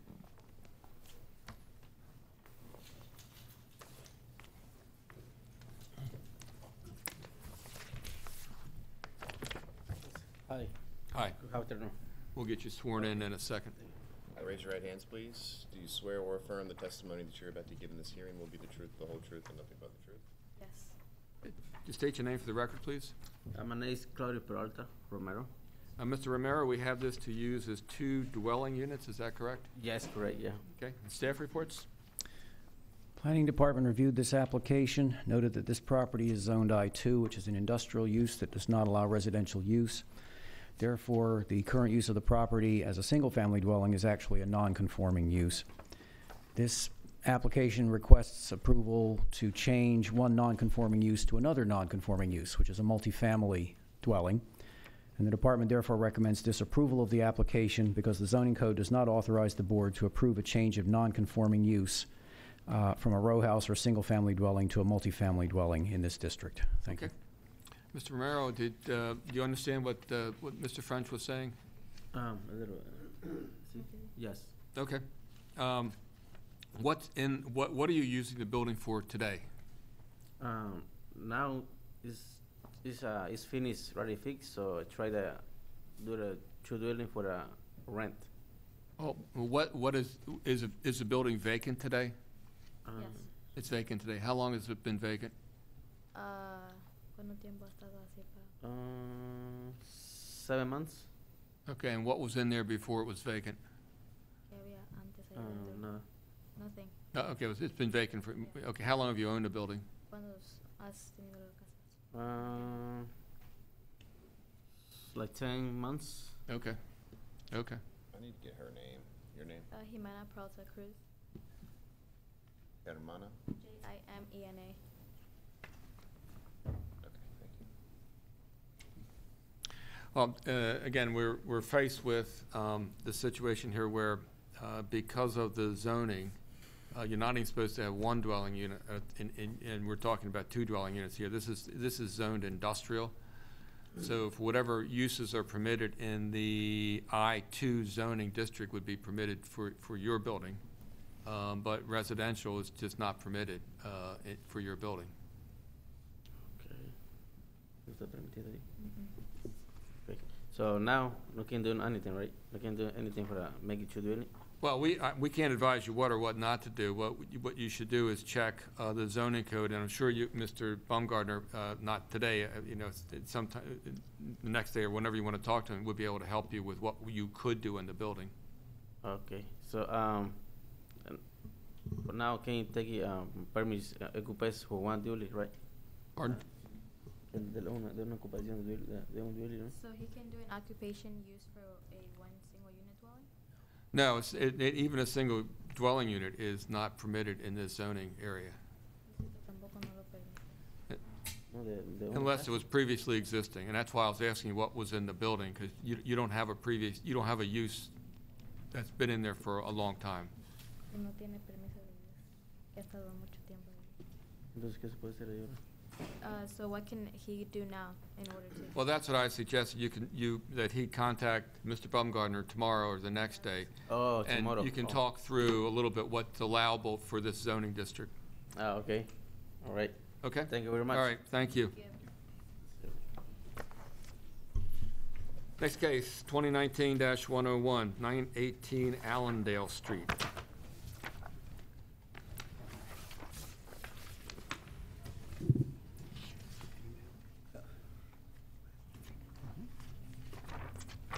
Good afternoon.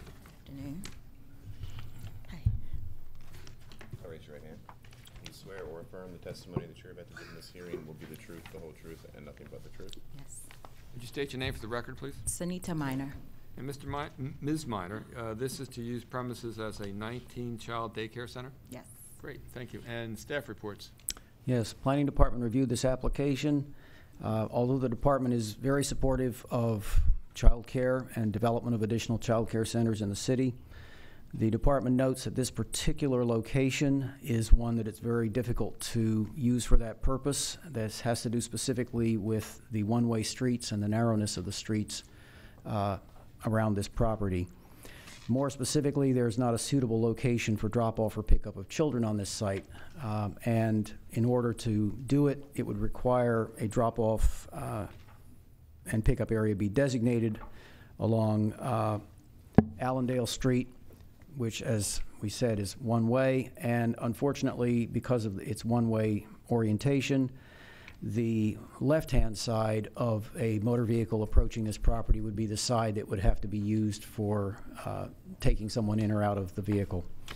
And generally, the department has supported these passenger loading zones being established where it is the right-hand side or the passenger side of the vehicle that would be used uh, for letting somebody out or picking somebody up.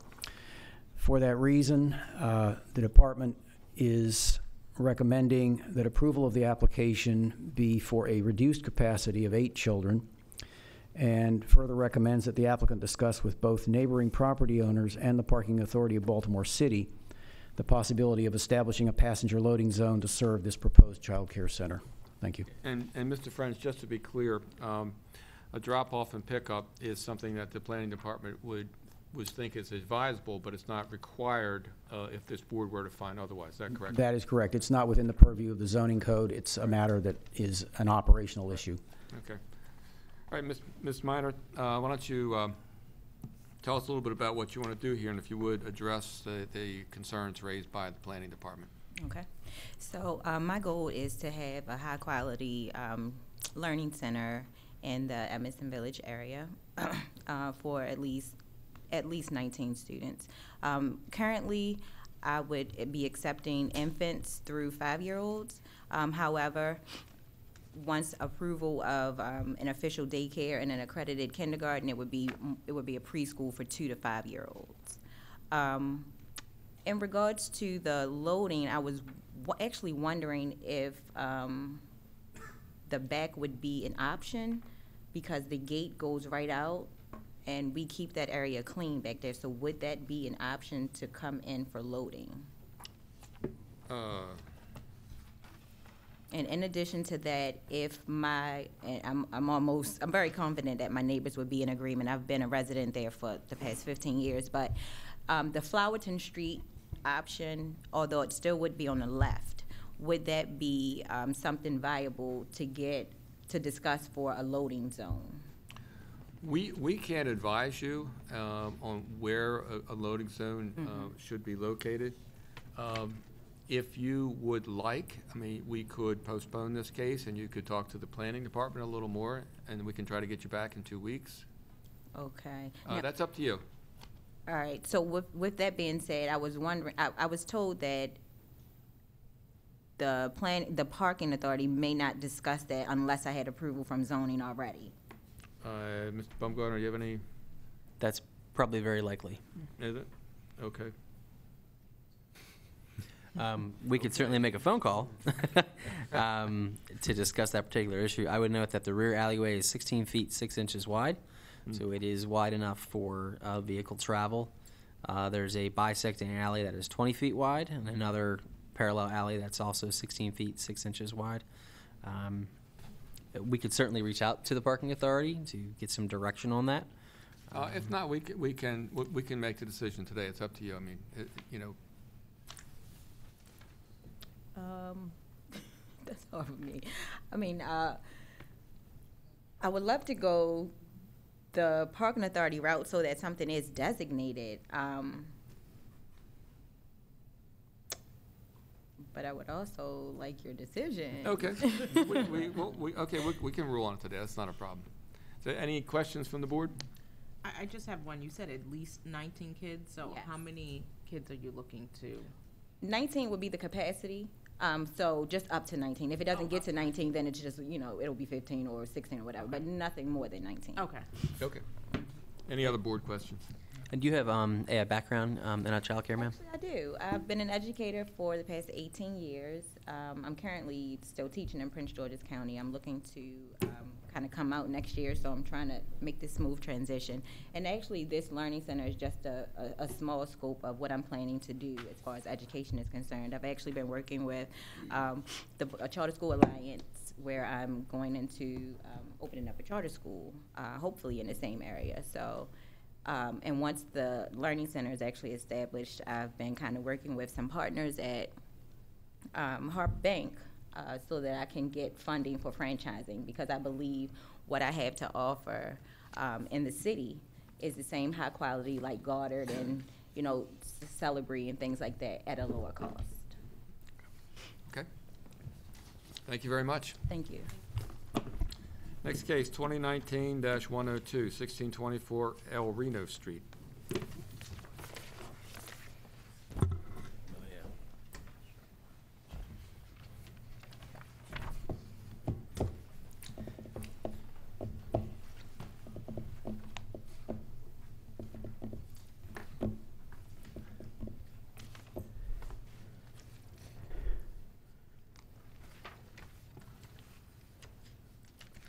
Uh, Raise your right hands, please. Uh, Do you swear or affirm the testimony that you're about to give in this hearing will be the truth, the whole truth, and nothing but the truth? I do. Uh, Are you the appellant? Yeah, John Bolster. Mr. Bolster, we have this to construct new two-story, single-family detached dwelling, is that correct? Yes. And do we have any staff reports? Planning Department has no comment on this application. Thank you. Okay. Tell us about your project. Okay, I'm, I'm here uh, representing my friend Luis Condo. Uh, He's also my employee, and I'm mostly here for the sake of communication, as his understanding of, of some of the issues is why we're here in the first place. So Luis has lived in that house for about 12 years, I think, and bought it in 2013. And he and his daughter bought the house next door at 1628, I think in 2016. Renovated that property. His daughter lives there with her family. And Luis got to a point where his house was pretty deteriorated. Um, he found some structural issues, so he wanted to renovate his property. And he got a demolition permit to get the process rolling. Huh. But I think when he started doing the interior demo, the structural damage, whether it was termite or, or what, was so extensive that he got ambitious and all of a sudden started taking the whole house down. Um,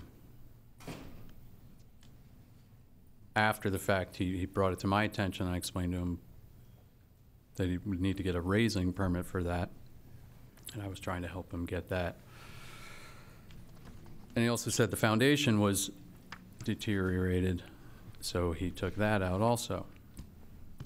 Now, what he wants to do is just rebuild the same footprint, same two-story house.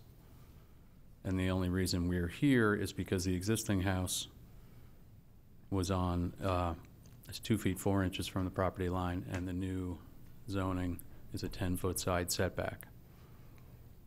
Um, Well, there's a couple of variances. I understand there's an interior side yard, there's a minimum front yard, and then there's the imper- impervious surface.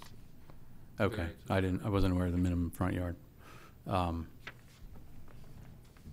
He was issued stop work orders and was fined by the city, so those fines have been paid or in, or in process in, as part of the razing permit to get paid. So the, the building that he's going to uh, replace, is- and you said the footprint's the same, is, is it on the exact same footprint in, on the lot? Yep. Okay. Anything else? All right, sir, you're in opposition? Yes, sir.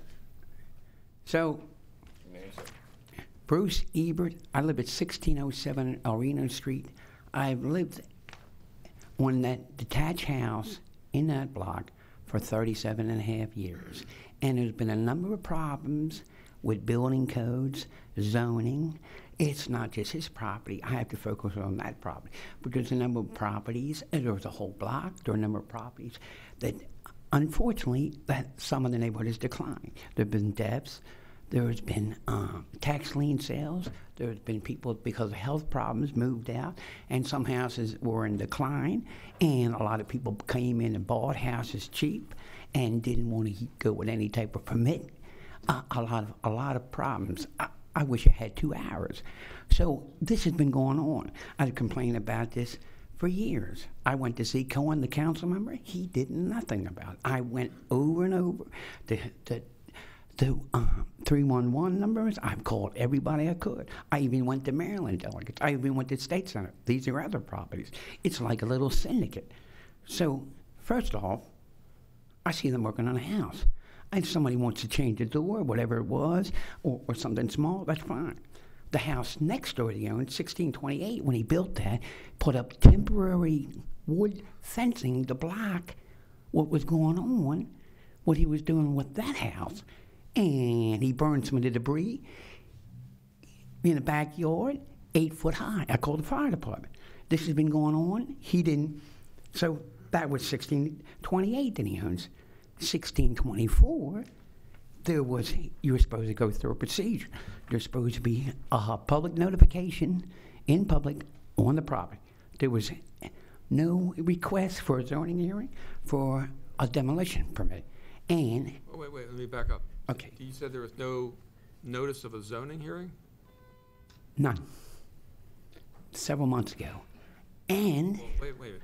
Uh, Mr. Baumgartner, when was this, uh, The posting notice was issued by our office on March 28th. Uh, The post by date would have been April 2nd of this year. We have a returned affidavit saying that the property was posted on April 2nd. uh, and that is signed um, at the bottom of the form. Okay, So let me correct that. There was that. I saw that. Okay. That's why I'm here. Okay. There was not any notice, there was no sign, nothing, no notification of a demolition process. They tore the whole house down. I let uh, uh, this gentleman know, the person working on it, there was a problem. I told them over and over again. I've called code enforcement and one of the contractors, I got the name, the number, the telephone number, and let them know.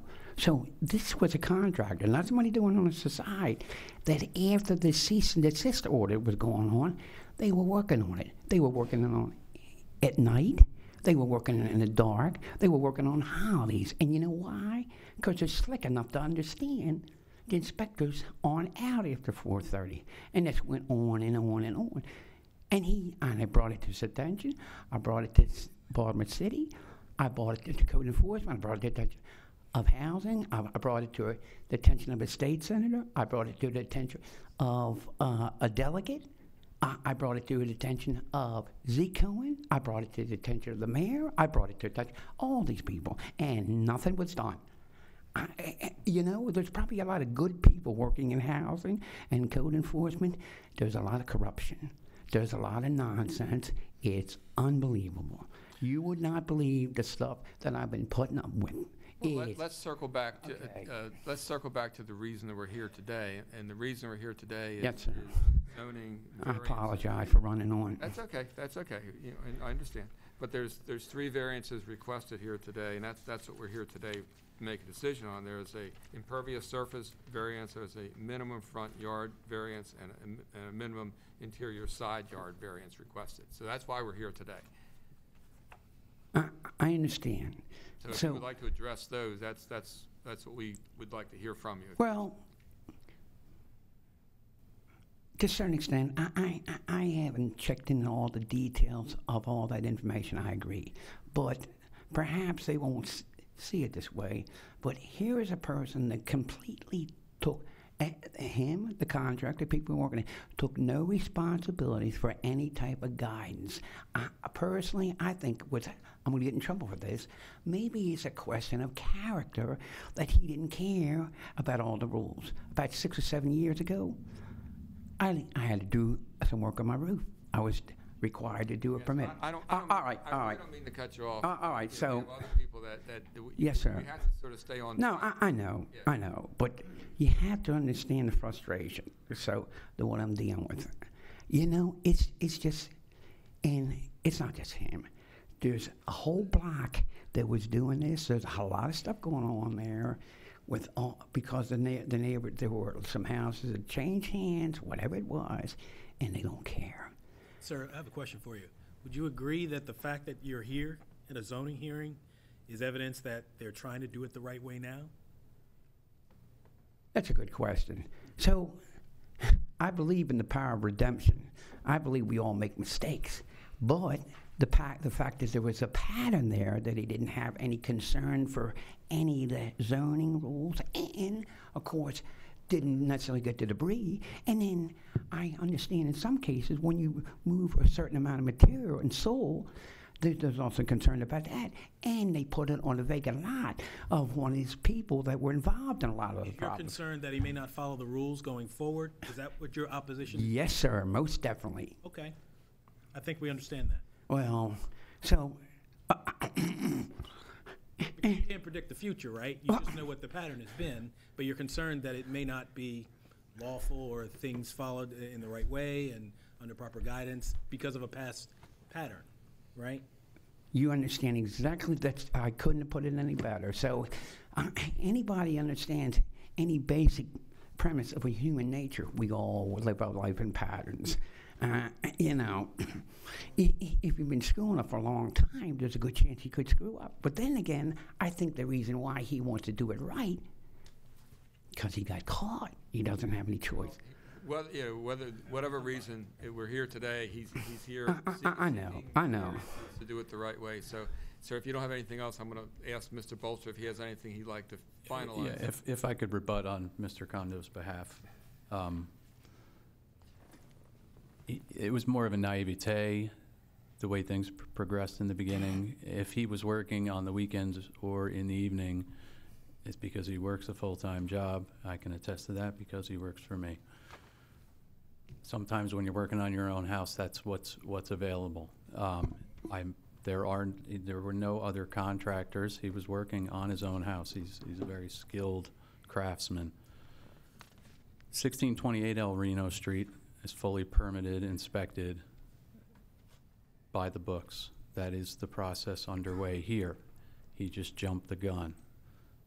And I have never been in the situation before needing to raze a building, so I, because I'm a contractor myself, wasn't familiar with the process to guide him until we employed the services of an engineer to straighten things out. Okay. Can, Question, well, s- s- excuse me, what we, do you, do you have a question of him? Yeah. So I would assume if you're in the contracting business and you're licensed, you would completely understand all the terms of what permits are. I'm not in that business, but understand the basic premises of that are eh, ignorance is, eh, you know what they say? Ignorance is no account for not following the law. If you're involved in that, you should know. We understand, we understand your concerns, and, and we do, we really do understand your concerns. It wasn't done right to begin with. We, we get that. And, You know, he's here today doing this part of it the right way. Well, Um, uh, Do you have anything else? Just one last thing. Um, That location is not the most desirable location for somebody to be in- in- heavily investing in a property. It abuts on the rear to a Royal Farms on uh, um, Browning Highway right there. There's an apartment building across the street. This is the future of Baltimore, who, you know, these neighborhoods that might be empty, you know, they've improved the one next door, they're improving this one. And they're, they're making the commitment to stay and live in the city. Okay. And he just wants to rebuild the house so it doesn't fall down. Well, I, I I just want to say, I, I don't want to make a commitment to live in the city anymore because it's gotten ridiculous, but anyway. Any questions from the board? No. All right, thank you all very much. Thank you.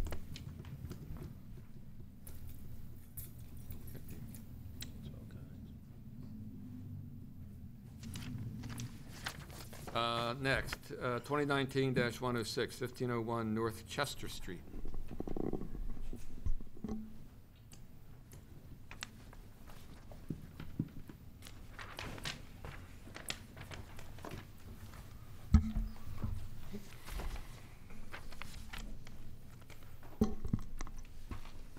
Let's get everybody sworn in as soon as we're ready. Raise your right hands, please. Do you swear or affirm the testimony? Raise your right hands, please. You can testify. Do you swear or affirm the testimony you're about to give in this hearing will be the truth, the whole truth, and nothing but the truth? Do affirm. Great. State your name for the record, please. Okay, I'm Bob Rosenfelt, Colbert Matz Rosenfelt, civil And en- Mr. Rosenfelt, we have this to construct new five-story mixed-use building with parking garage, correct? That is correct. Great. That's We have correct. staff reports. We do. We have a letter of support from the New Broadway East Community Association, signed by Doris Minor Terrell as board president. And then there's also a letter from an adjoining neighbor of approval, Mr. Stephen Brown. Planning Department reviewed this application, noted that this property is contained within the Broadway East Urban Renewal Plan area, and that particular urban renewal plan does impose design guidelines on new non-residential construction. The applicant is encouraged to develop the site plan and the architectural design for this particular proposed redevelopment in accordance with the guidelines contained in that plan. The department also notes that because this is going to be a large facility, it will require approval by the Urban Design and Architecture Advisory Panel. The Department of Planning recommends that approval of this application be subject to the condition that all development, construction, landscaping, and improvement of this property be completed in accordance with plans approved by the Department of Planning. Thank you. And Mr. Rosenfelt, if this board were to approve your appeal, are those conditions acceptable? Yes, they are. All right, all right, so tell us about your project. Okay, so uh, first for introduction, Carla Ryon is here with me, we can co-testify. We also have uh, Pastor Donte Hickman, who is uh, the pastor of of the Southern Baptist Church, as well as the um, head of the Mary Harvin Transformation Center Community Development Corporation, and also Josh Neiman, who's like the developer's rep, is a good way to describe. So we can go through our, what we have here, and you know, maybe if, if, if you have questions, then we can go from there. So the, uh, it, like you said, it's a application to construct a five-story mixed-use building uh, with structured parking. Uh, we, we- we are requesting variances for parking, uh, rear yard, interior side, and building height. Uh, The site is zoned IMU. It's surrounded by R8, and our site area is about 32,000 square feet, roughly, a little bit over three quarters of an acre. We're at the northeast corner of the intersection of North Chester and East Oliver Street. Uh, It's an existing vacant lot. It's been vacant, the building that was on it, it was demolished in July of 2018. It had been vacant for over 30 years. It was an old dry cleaning plant, uh, and it had just been sitting there for 30 years. Uh, Surrounding uses are residential and open space. Um, The, uh, it's part of the East Baltimore Revitalization Project, which was accepted by the Planning Commission on September 7, 27th, 2018. It did go through uh, under, uh, under, it went through schematic phase UDAP in uh, July 26, 2018. You know, the, the team will have to go back to UDAP for design review. Uh, It's in the Broadway East Urban Renewal Plan.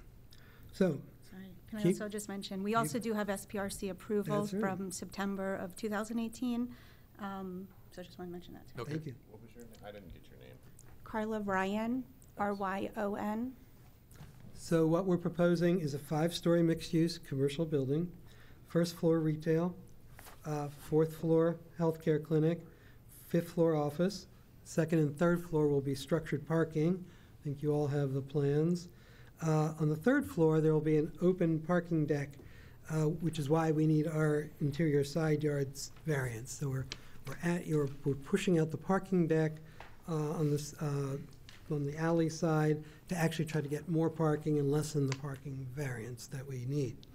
Uh, The main pedestrian entrance is at the corner of Chester and Oliver Streets. There's also an additional retail entry a little further up the, uh, up a little north on Chester Street. The, uh, the access to the parking garage, we have a parking garage is on East Oliver Street, and we've worked out all the grade differences and elevations for that. So, the building, the variances we're requesting are building height of 80 feet in lieu of 60 permitted, interior side of 6 feet in lieu of 10 feet, uh, rear yard of 2 feet in lieu of 15, and parking, 124 spaces in lieu of 128 required. As was mentioned, there's a support letter from the New Broadway East Community Association and a support letter from the adjoining neighbor uh, behind us uh, on East Oliver. Um, Variance justification, I can go through it fairly quickly. The building height itself is 66 feet from the finished floor elevation to the top of the fifth floor, um, of which 28 feet is parking, garage, and ramp. Um, And we've measured that from mean uh, curb height. The road slopes up Chester, so we were, we're not fighting grade, but uh, we, using that, we've added two feet to the building height. In addition, there's a 10-foot rooftop screening wall uh, for mechanical equipment, which is greater than 25% of the roof area. So when you add that all up, that's 78 feet. Uh, We, a two-foot buff- buffer, you know, gives us the 80 feet we're requesting. Um, Also, the tenant spaces, some of the floor area and ceiling heights are user-driven. So as we get into the design, you know, they're going to need higher, uh, you know, ceiling heights, which, which make, make it a little higher. Uh, We do not believe that the height variances will have any impact, adverse impacts on neighboring properties. Uh, Properties across the street from open space, the Broadway East Park. Um, North of the site are rear row houses separated by an alley. East of the site are an area of row houses separated by an alley. Uh, Adjoining, our adjoining neighbor to the east, which is 2124 East Oliver, uh, we've, we're setting our building back 10 feet adjacent to his house to allow for light and air to reach his second-story window. Uh, There is a, the slope up Oliver Street is sli- steep, so we had to work with that. Um, And the exhibit you have is our site, SP, our approved SPRC plan. Um, So we won't get into too much about, about the slope, but there is like seven percent slope. And, you know, and the, the curb level is at one fourteen, so. So when you- you're, if you're standing on Chester, the building height would appear seven feet less. And then um, also in the rear, there's 11-foot grade change from Chester, where we're measuring the, the building height, to the rear. So that's an 11-foot higher elevation in the rear. So if you were standing in the alley along the rear, the building height would again appear about 11 feet less than where we're actually measuring per the zoning code. Based on how the grades work. Okay. Mhm. The interior side yard of, uh, required for the the third floor parking deck that pushes to our north. Uh, It's an open-air deck that's not an enclosed building structure. Uh, The the area below will be open, and there will be a screening wall along Ch- North Chester Street only. The screening will be set back 10 feet from the side property line, the interior. Uh, The enclosed building on the first, second, fourth, and fifth floors is actually set back 53 feet from the interior property line. So it's only this third floor parking deck that requires the variance. Uh, it- The projections allow for, what it gets us is 10 additional parking spaces, which gets us much closer to the number, required of 128. The rear yard behind us, on the other side of Chester, um, you know, we, we're, we are IMU, there's, we're in a, what you call a C of R8. Uh, The requirement is 15 feet, um, and it's required only where the rear property line abuts a residential district.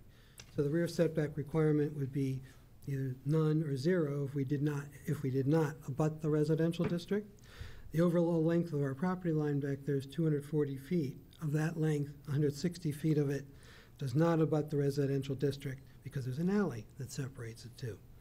Along this 160 feet, no rear setback is required. The 15-foot rear yard only applies to about an 80-foot portion of, of the rear property line that actually abuts the residential zone on the, more on the southeastern part of the site. Um, Of that 80 feet, uh, 40, 40 feet is set back the two feet along there, and 40 feet is, another 40 feet is set back 10. That's where we're asking for the rears. Uh, our- Along our adjoining neighbor, the building, we've purposely set back our building 10 feet from the property line. So uh, most of this two-foot r- request is, is along, a- is along an alley, 12-foot alley. Um, It's Again, also- I just wanted to also mention, um, the adjoining neighbor on Chester Street, or I'm sorry, on Oliver Street, that is the letter of support that we have from the neighbor. Stephen Brown is his name. Uh, And again, the size of the tenant spaces, again, are user-driven, so we try to work within our users to get that to work. Um, The project is going to be partially publicly funded, about 25%. The max, max, this will maximize the impact of public funding by maximizing floor area of the uses serving the community, which is what we're doing. Parking variance. Uh, The development will draw pedestrian traffic, uh, so that, you know, we- we do intend to serve the community. Uh, There are bus lines on Gay Street and Federal. Um, So our overall justification, um, we are part of the East Baltimore Revitalization Project, and as I mentioned, the Mary Harvin Transformation Center Community Development Corporation, of which Pastor Hickman is the, uh, leads that organization. They're a local community stakeholder and have a successful track record with other developments in the area. It identifies the Gay Street, Chester Street corridors as infill opportunities uh, to focus investment in new development. Also identifies Chester Street as an opportunity for retail without displacing residents. Uh, The master plan calls for mixed-use, commercial and retail developments, as well as housing, public safety, educational facilities, urban gardens and parks, streetscapes and green network infrastructure, and uh, high, it's basically high-density infill that, that development that connects Eager Park to Clifton Park. Uh, The potential ten- tenants for our project include a pharmacy, a smoothie shop, healthcare clinic, which is probably Johns Hopkins, and offices. Um, We're part of the Broadway East Urban Renewal Plan. So the design guidelines of the urban renewal plan support the interior side variance and building height because, quote, "to provide convenient, sufficient, and incon- inconspicuous parking to serve the new businesses. And also the new construction guidelines of the urban renewal plan support the requested rear variance. Buildings should completely enclose each block to enhance the urban character, and all public and private spaces must be defined, avoiding empty spaces where, where uses are unclear. So we don't want to create areas that it look like a, it's sometimes called a jack-o'-lantern, where you have uh, cutouts, you know, that, that between, between properties. This will bring jobs to the area, construction and full-time, resources, healthcare clinic, potential pharmacy. Commercial amenities will be pedestrian available, uh, as well as bringing vehicular uh, commercial activity. Finally, uh, the variances will not be detrimental to the use and enjoyment of the properties in the immediate vicinity or, subs- or substantially diminish or impair property values in the neighborhood. Rather, the variances will promote pedestrian and commercial activity along North Chester Street and provide needed community resources. This new proposed building will also replace what was formerly, again, I mentioned, a vacant industrial building that sat vacant for over 30 years before being demoed last summer. It was an eyesore and detri- detrimental to public safety. The new proposed development on this site will bring in jobs and community resources along a prominent corridor through the community. So that's what, that's what I have to say. Thank you very much. That- That's plenty. Do we have uh, any questions from the board? No, sir. Did you want to provide any other testimony? Nope. All right. Nope, good. Thank you very much. Thank you. Oh, come on up. Oh. That's nice, that's a surprise. Oh. Okay. Off Off the record. Thank you, Thank you. All right, goodbye. Okay. Uh, Next case, 2019-108, 101 to 105 West North Avenue. Mr. Rosenfelt, you might as well stay up here. No, well, No. not really, I, eventually, but not. Not, not okay.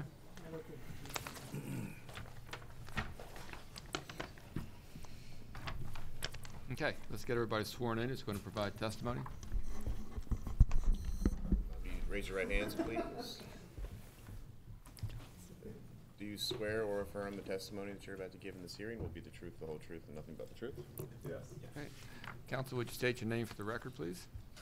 Uh, Alyssa Domzal with Ballard Spahr. on Okay. be- uh, On behalf of Infill Development.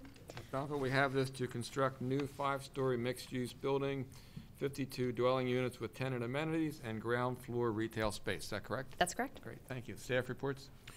Yes, we have uh, letters in, of support in the file, one from Councilman Robert Stokes, who I might add was here earlier and would like to have testified in person but could not stay for the remainder of the docket. So we assured him that his letter would be part of the file. Uh, We also have a letter of support from the uh, Baltimore Development Corporation, signed by Kimberly Clark, Executive Vice President. And then there's also a letter of support by an individual, Andre Stone, at 305 East Lafayette Avenue. Um, But I want to read just one paragraph. It's a general letter of support, but this last paragraph is a little bit unique. It states, "As for the bike parking variance, I believe the developers should fully comply with this mandate. Additionally, considering the fact that this building would be located across the street from the city's most heavily used bike thoroughfare, I would ask that the developers to, I would ask the developers to make the bike parking a more prominent feature rather than just shoving it into a dark room in the basement as is currently proposed."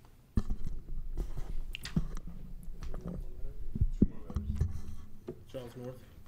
Excuse me, I- we're on the record, so I don't. Yeah, there are, um, there are letters of support provided to the board from Charles North Community Association, Midtown Community Benefits District, uh, Baltimore Development Corporation, and Councilman Stokes' office. I have copies if needed.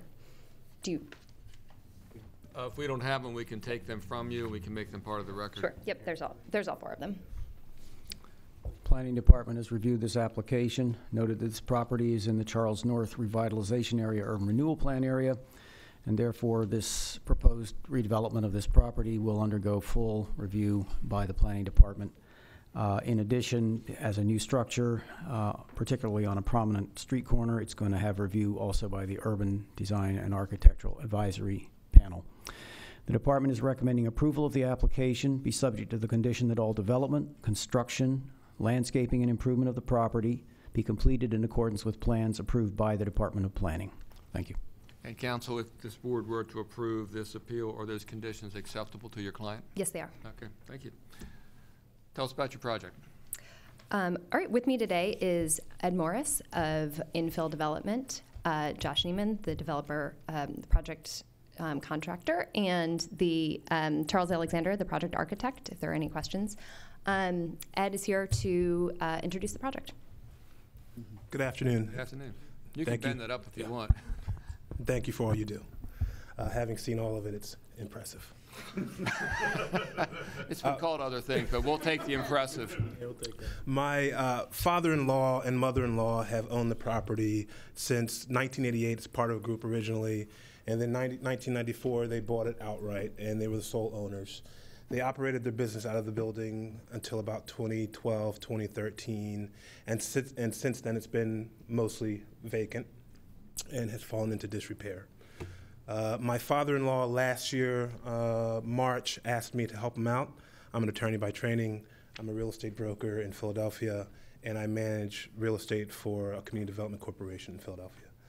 Uh, we made the property available uh, for lease, and we interviewed a bunch of people, and we quickly realized that the work the property needed didn't justify the rents. The rents wouldn't justify the work, uh, and so then we began uh, researching what the highest and best use might be, and that's where we came up with the development plan as it is today, albeit you know uh, conditioned upon approval. Uh, our- current plan is for 52 uh, residential units uh, with ground floor retail. The unit sizes are one bedroom and studio units. Our hope is to capture the uh, young urban professional or graduate student uh, from either MICA or UB who might want to live there or in the area uh, in the district. Um, and so our proposed unit sizes are a range from 450 potentially to 550. That you know the the design uh, is still underway, uh, and we are proposing no parking on the site. Uh, it was noted earlier uh, that we are in close proximity to the cycle track. We have uh, a surface lot immediately adjacent to us, which is owned by MICA, and there's a, a surface lot immediately adjacent to that. I'm sorry, to the right side of the, the Lazarus building, and there's also street parking uh, and garage parking uh, very close by. Uh, and I think that's my background in Wyoming. Thank you. Thank you. Uh, The property is located in a C2 zoning district. Uh, We are here to request variances for minimum lot area and parking. Um, In the C2 zoning district, the minimum lot area is 225 square feet per unit, with 52 units on a lot area of approximately 8146 square feet. Uh, The proposed building has a lot area of um, 156 square feet per unit. Um, So we are requesting to build 52 units. 36 units would be permitted by right. Um, As to parking, the um, requirement is one space per unit. Um, So that would be 52 parking spaces. And the, uh, but the retail under 2,500 square feet is exempt in the C2 district. Um, so speaking to lot area, uh, this is an area, the Charles North, Station North area has seen rapid growth in recent years. Um, the arts and entertainment district has flourished. Uh, MICA has seen great expansion. This is directly next door to MICA's Lazarus building. Um, this is an area with a need for housing options and a diversity of housing options. Um, what we have seen is that there, the market demand in this area is for smaller, market rate but more affordable units, as Mr. Morris said, um, in the range of 450, 550 square feet, uh, square foot units for graduate students, young professionals in that area. Um, the variance that we're talking about today, we're only talking about lot area. We're only talking about density. We're not going for a height variance. We are building 60 feet um, at grade on the North Avenue frontage. Um, so from the exterior, we're talking about the same building we could build by right. We're only seeking a variance for the number of units that would go in that building. And that is really just meeting the market demand for the smaller units. Eh, By right, we could build 36 larger units, but that's not what the market is in this location. This is just a, a question purely of unit size. Um, as to parking, the, this property is very uh, oddly configured. It's very narrow. On the North Avenue frontage has only about 47 feet um, of frontage, and then it, um, along Maryland is about 175 feet of frontage. Typically, um, there, you need 60 feet of width to have a true parking circulation because you have 20 feet of um, the length of vehicles plus two driveway access, um, uh, two 20 foot base for driveway access. Um, the code, the code requires a parking space in Baltimore City to be um, typically nine by 20. Um, so you're in a position where there is not, you don't have the ability to put parking, surface parking as you would expect, sort of uh, lengthwise along the property. And, um, and even if you were to do that, it, the property would just not accommodate um, a, a large number of spaces. Um, Excuse me, Counsel, did, did, did the developer look anywhere to try to obtain um, a long-term lease for parking? We have had preliminary conversations. Uh, I- I'm not comfortable saying that we've committed to anything, but there are options, and we have had conversations regarding long-term leasing parking. What, what, how many spaces are we talking about? Uh, We haven't gotten that far. Okay. I would, I would just say that in, in the planning of this project, you know, we've looked a lot at who the expected tenant would be. And the expected tenant is somebody who is using the cycle track, using tran the wealth of transit options, all of the bus routes on North Howard, Maryland, um, two blocks from the light rail, very close to Penn Station. We we are just not expecting this to be the type of building where everyone has a car.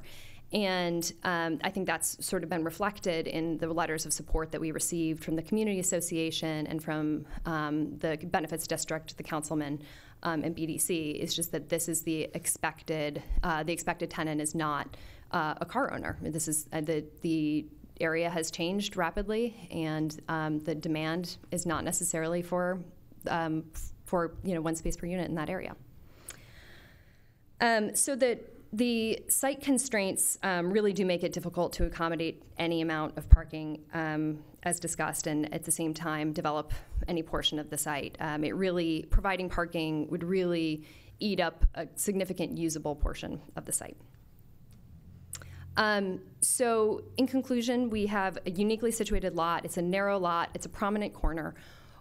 What the unifying message that we saw in, in working closely with the community and with other stakeholders is that people want density on this corner. They want activity. They want eyes on the street. They want safety.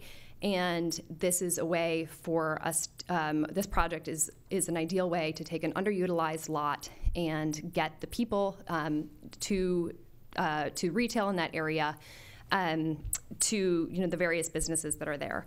Um, as to lot area, the market demand is for smaller units that would allow us to keep the rent down. Um, larger units, uh, to impose only the units that are permitted by right would mean larger units that are not, um, it, that would not be what the market demands in that area. Um, as to parking, um, as we mentioned, the surface parking lot would be nearly impossible on this site. Um, it would consume a large portion of the usable site, and we would not be able to um, make meaningful use of the remainder. Um, I can uh, discuss the remaining of the standards in 5308 if the board has any questions. I just have one question. Sure. Uh, You may have already said it, but the neighboring communities who have provided letters of support, Mhm. I'm assuming they're all aware that there's no parking provided in your project. Yes, that was actually on the, um, the sign specifically. And a lot of the letters. Uh, And a lot of the letters refer to the fact that there are, is no parking. Okay. If not all. Okay. Yeah, there are, there are a number of surface parking lots, um, a- apart from the question of a long-term lease as to zoning, but as, as to just use. There are a number of surface parking lots in the area, and I think that generally the perception is that these are either people who will not have cars or people who feel that their parking needs are already met. Okay. And we, we don't, I mean, we don't need the standards. If you want to put them on the record, feel free. It's up to you. No, that's all right, thank you. Okay, Any questions? No. Great. Thank you all. thank you. Thank you. And we have one last case, 2019-104. Hope I didn't click it over, I'm sorry. Realized we had another case. Yeah. Call one more time for me. 2019-104.